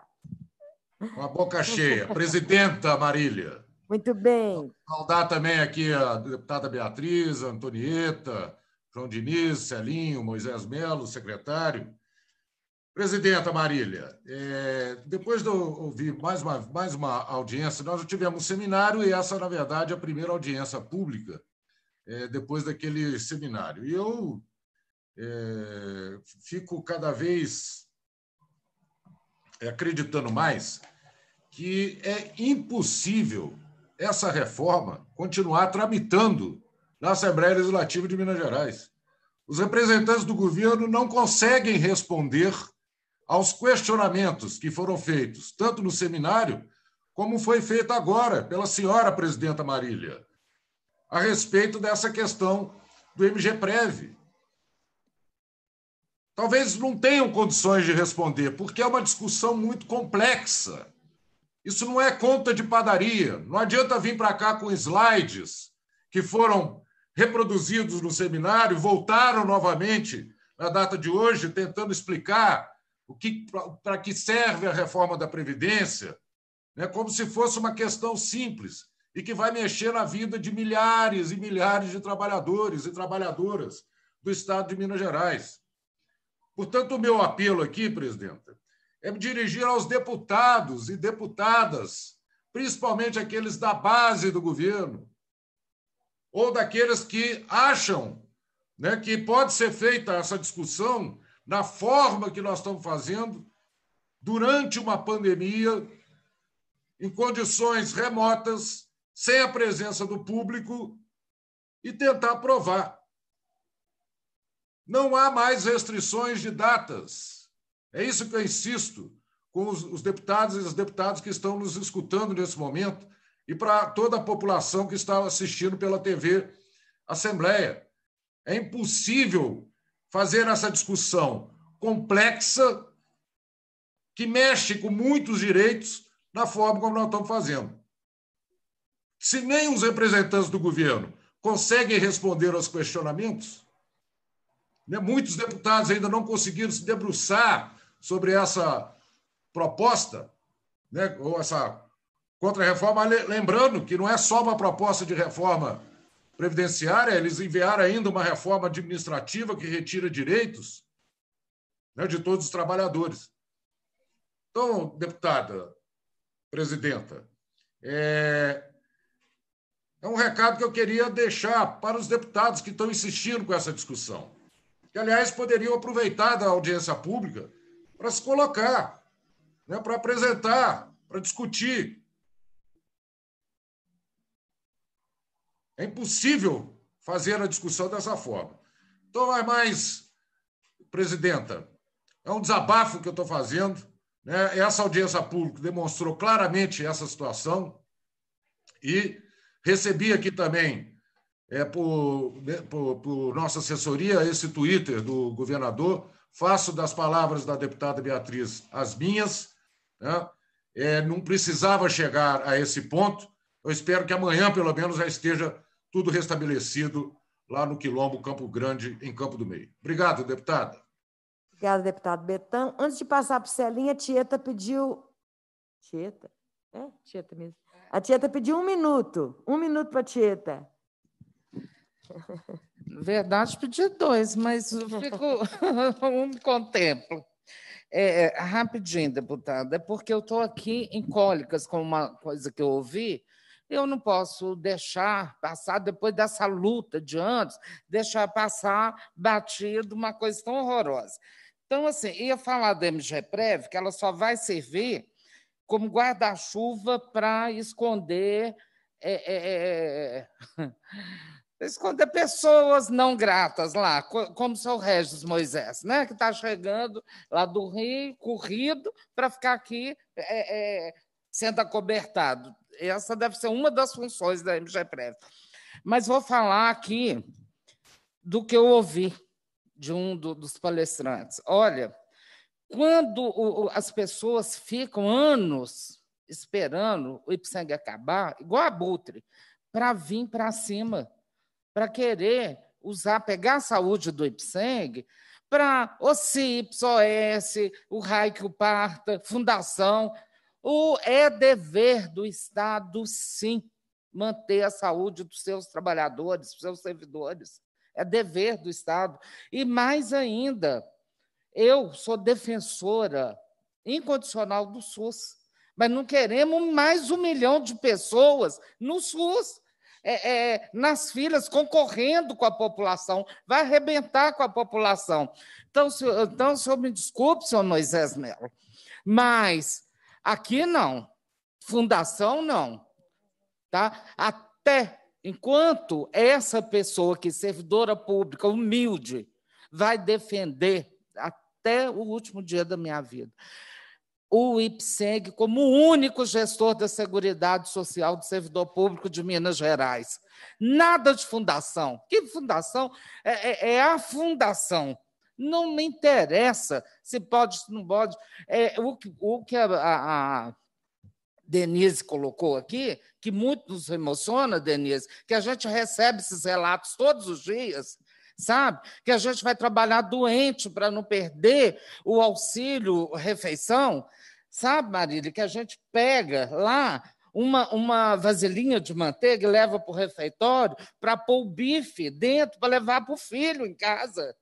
E isso as pessoas não veem. É só falar para acabar, entregar para a iniciativa privada, para os bancos, para os planos de saúde. Aqui não. Aqui não. É isso. Muito obrigada. Obrigada, Tieta. Nós vamos ouvir, então, agora o deputado Celinho, que é presidente dessa comissão. Mas, olha, deputado, nós tivemos uma participação recorde é, das pessoas pelo portal da Assembleia, fazendo muitas indagações, apresentando muitas contribuições. Nós não teremos condição de ler todas as contribuições e indagações, mas eu tenho certeza que Vossa Excelência, que é o relator da, da, de, desse parecer que vai ser emitido por essa comissão, terá é, como referência todos esses questionamentos que também foram apresentados pela participação virtual. Então, eu vou deixar com a consultoria para que Vossa Excelência depois possa tomar conhecimento. Deputado Celim, com a palavra. Bem, eu quero mais uma vez, presidenta, é, agradecê-la, agradecer ao governo, na pessoa do doutor Otto, ao Moisés, ao João Diniz, à Tieta, todos os deputados que participaram. Eu acho que hoje nós cumprimos mais uma etapa, uma etapa do debate com relação ao projeto que foi encaminhado à Assembleia. E ainda ficou muito claro que persiste é, dúvidas, questionamentos, e não por parte dos servidores do movimento sindical uma decisão, uma concordância com a proposta do governo do Estado de Minas Gerais. Mas eu quero aqui fazer uma consideração final, pedir ao doutor Otto que, depois de ouvir essas ponderações de cada fala, de cada um dos que usaram as, as manifestações, que possa ser avaliada, avaliada pelo governo. Eu acho que a questão da reforma da Previdência ficou muito clara a proposta que vem, que é o maior que o governo está desejando, ela não, não se traduz a questão do IPSENG, e eu gostaria muito que o, governo, que o secretário pudesse avaliar essas ponderações e ali a gente poder é, apresentar é, e buscarmos o melhor para o servidor e para o IPCENG. É o propósito que nós queremos ter frente a essa comissão com a criação do nosso substitutivo. E ao movimento sindical, pedido de que não modifique em nada com relação ao IPCENG. Mas nós amanhã teremos uma reunião do nosso bloco, estudos técnicos que foram feitos por assessores técnicos da nosso, nosso bloco, e que vamos avaliar, vamos continuar fazendo o debate. Semana que vem tem mais uma audiência para ouvir novamente partes servidores. Eu quero aqui, eu acho que dizer que a, a audiência pública contribuiu para a gente chegar é, num formato que encontremos é, para poder garantir aos servidores atuais e aos futuros e às suas famílias é, aposentadorias e pensões justas é, e um atendimento à saúde que ampare é, nos momentos difíceis é, de uma assistência social digna. Então, acho que aí nós caminhamos, eu acho que foi produtivo, mas eu vou continuar apelando ao doutor Otto para avaliar e dizer que eu, enquanto relator e presidente dessa comissão, estou aberto para a gente continuar discutindo com o governo, com a CEPLAG, com a Secretaria de Governo, o melhor para os servidores e para o IPCENG. Né? Agradecer a você, presidenta, por esse trabalho importante que você fez aí hoje, né? dizer que foi muito assim oportuna as suas manifestações e dizer também que agradeço a todos os, os participantes, a todos os internautas que acompanharam, e tudo que foi discutido será tranquilamente avaliado, com muita maturidade, com muito equilíbrio, para nós podermos chegar no melhor. Então, agradeço por todas as participações e a Comissão de Trabalho e Previdência é, da Assembleia Legislativa mantém-se à disposição para continuar no diálogo necessário quando se diz assuntos pertinentes a trabalhadores e trabalhadoras, servidores e servidoras, e tudo que for preciso debater nessa comissão. Meu muito obrigado, presidente, por toda a sua participação. Obrigada, deputado Celinho. Foi uma honra presidir essa comissão numa temática tão importante e faria apenas é, mais uma consideração para o senhor, é, Choroto. É, eu é, não posso concordar que a gente tem que dar o enfrentamento ao desequilíbrio financeiro do Estado, é, promovendo essa política que tanto existe hoje no governo federal, como se pretende instituir em Minas, é, responsabilizando o servidor público e, por consequência, o serviço público. É, nós vamos ter equilíbrio das contas quando o Brasil e Minas Gerais voltar a crescer. É isso que vai dar o verdadeiro enfrentamento. A gente tiver aumento de receita, né? É isso que vai promover o verdadeiro equilíbrio das contas. E, obviamente, é, o fortalecimento do serviço público significa mais servidores públicos. Mais servidores públicos significa mais contribuições de servidores públicos, e isso será fundamental para ter equilíbrio financeiro na Previdência. Lembrando, mais uma vez, porque eu acho que os, os vários é, representantes do Estado falam em, em, em, em promover o é, acabar com o déficit da Previdência. Não se acaba com o déficit da Previdência, se ajuda a ter um equilíbrio financeiro. E isso só será possível, na minha opinião, com novas contribuições, portanto, com novos servidores. A gente hoje trabalhar com déficit é muito uma visão de quem trabalha com cálculo atuarial e, portanto, com sistema de capitalização de previdência. Então, eu faço aqui, de fato, um, um apelo, né? para que a gente, é, em primeiro lugar, que a gente possa dar uma contribuição nesse processo, mas eu acho que o governo tinha que, em primeiro lugar, não ter tanta pressa para aprovar esse projeto, esses projetos, lembrando que a reforma da Previdência está em comissão especial, porque é uma emenda constitucional, e caberá a essa comissão fazer um parecer, mas acredito que nós deveríamos considerar em muito as falas e contribuições e alertas que foram apresentadas pelos vários debatedores e debatedoras nessa audiência. Doutor Otto, para fazer a sua consideração final. Ok, é, deputada Marília, deputado Celinho, obrigado aí pela oportunidade.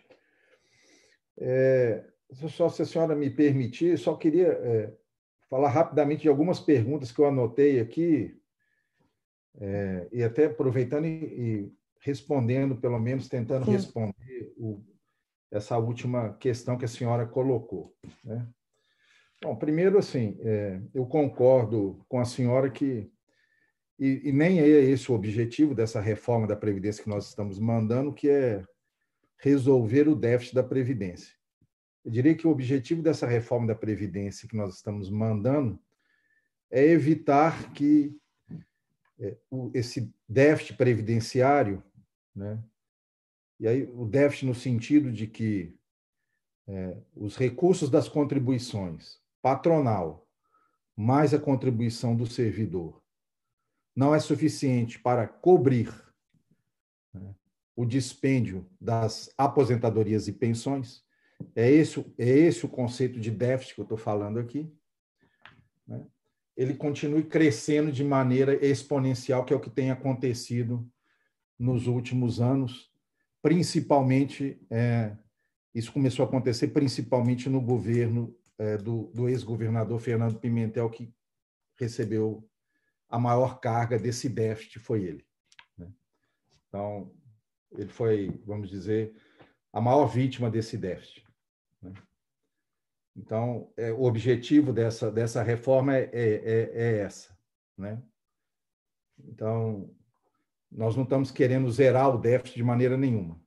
Tanto assim que o déficit previsto para esse ano é 19 bilhões, para o ano que vem seria 20 bilhões, e o recurso a ser arrecadado com a reforma da Previdência, da maneira que o governo enviou, ele iria, irá reduzir o déficit no primeiro ano em 2,3 bilhões, ou seja, algo um pouco superior a 10%. Então, eu quero dizer que o governo não está, de maneira nenhuma, fazendo a reforma da Previdência nas costas do servidor público. Nós só estamos tentando tornar mais sustentável esse sistema. Tá certo?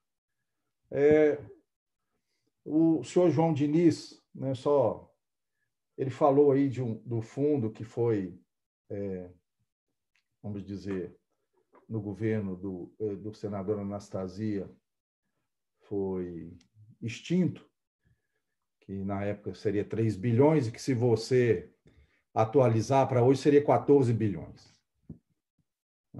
Ainda que eu fosse fazer toda a atualização e tudo, isso corresponde ao déficit de um ano. Então, de novo, não é também a solução do problema estrutural é, do governo. Né? Então, nós temos que reconhecer que né, o problema previdenciário né, do país, das empresas, né, do mundo, é que as pessoas estão vivendo menos, estão vivendo mais. Então, obviamente, eu preciso pagar benefícios por mais tempo. A maneira que isso foi constituído ao longo do tempo passado não se sustenta mais. Eu preciso isso ser feita periodicamente uma reforma. E, e essa época dessa reforma no Brasil, esse tempo atrasou. Isso fez com que isso acumulasse e isso causou danos né, nos estados e no governo federal. Né? O governo federal consegue emitir dinheiro né? e o governo do estado não consegue. Só para dizer que a loteria do estado, por regulamentação federal, ela foi reduzida e hoje ela só consegue arrecadar 20 milhões por ano. Então, também não é a solução. É, infelizmente, eu gostaria que fosse é, de nenhum problema é, do Estado. Com relação aos benefícios fiscais, que foi feita uma pergunta, né?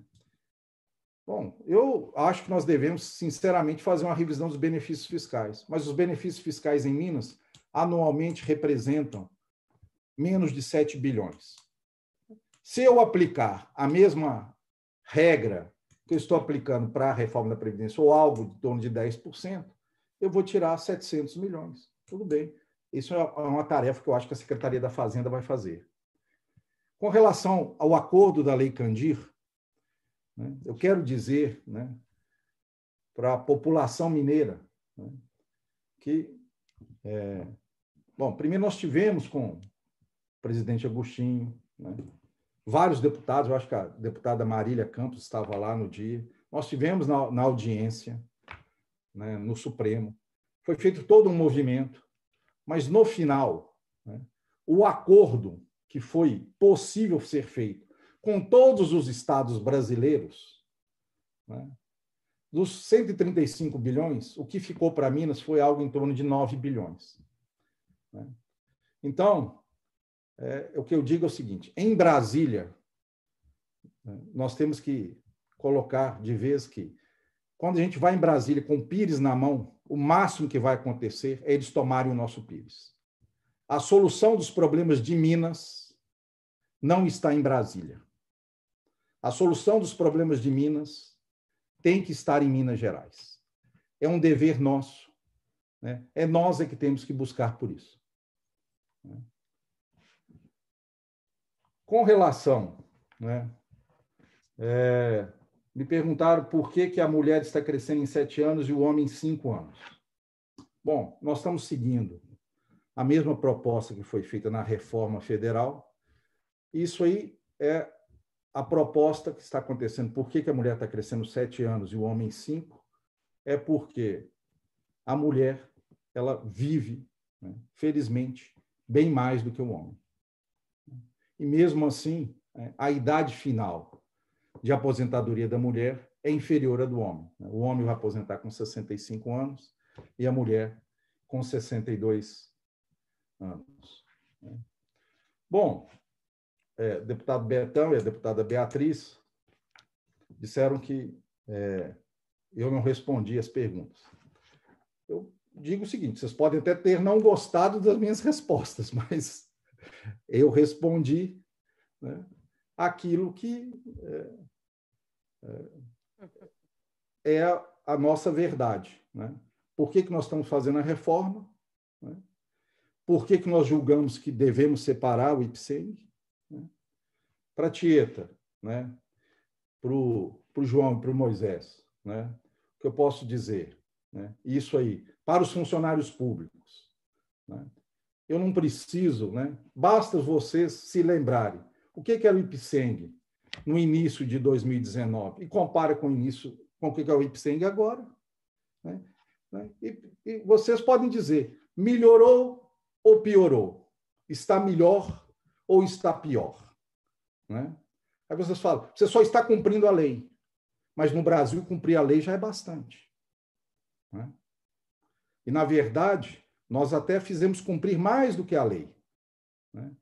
Porque nós estamos repassando mais do que a contribuição do empregado, e a contribuição patronal, porque nós estamos repassando mais que permitiu que dívidas do IPSENG fossem pagas. Bom, deputado Celinho, é assim, de qualquer maneira, eu vou conversar com o secretário Igor, especificamente sobre essa questão da, da MG Prev. A visão do governo é de que, separadamente, nós acreditamos que o processo é melhor. Mas vou, mais uma vez, levar a opinião, é, seja aí do sindicato, do IPSENG, seja do que eu ouvi aí nessa comissão. Quero, de qualquer maneira, agradecer aí é, essa audiência pública e tudo que foi dito e da maneira que ela transcorreu e estamos sempre abertos aí ao debate. Obrigado. Obrigada, secretário Otto. Nós vamos agora finalizar a nossa audiência pública, agradecendo a presença de todos os parlamentares, todas as parlamentares que estavam aqui, dos nossos convidados e convidadas, também dos servidores e das servidoras da Assembleia Legislativa que deram suporte para que essa audiência acontecesse.